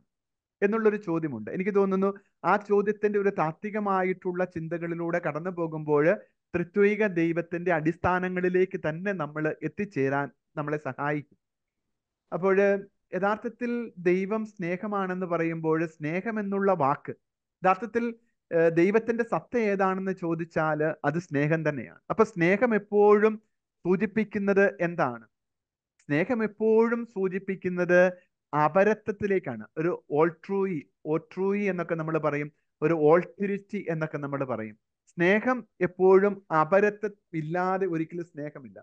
അത് അല്ലെങ്കിൽ നമ്മുടെ ഗ്രീക്ക് ഫിലോസഫിയിൽ കാണുന്നത് പോലെ നാർസിസമാണ് ഞാൻ എന്റെ പ്രതിച്ഛായ കണ്ട് തന്നെ ഞാൻ എന്നെ എന്നിൽ ഞാൻ അനുരക്തനാകുന്നതാണ് അവിടെ ഈ ഗ്രീക്ക് ഫിലോസഫി മിത്തോളജിയുടെ ഒരു കഥ തന്നെയാണ്. നാർസിസ് എന്ന് പറയുന്നവൻ തന്റെ തന്നെ പ്രതിരൂപം കണ്ട് തന്നിൽ തന്നെ അനുരക്തനാകുന്നതിനാണ് അവിടെ നാർസിസിസ്റ്റ് മനോഭാവം. ചിലർ നമ്മൾ പറയുമല്ലോ അവനൊരു നാർസിസിസ്റ്റിക് ആണ്. അവൻ അവനെ തന്നെ ഇഷ്ടമുള്ളൂ. വേറെ ആരെയും ഇഷ്ടമല്ല.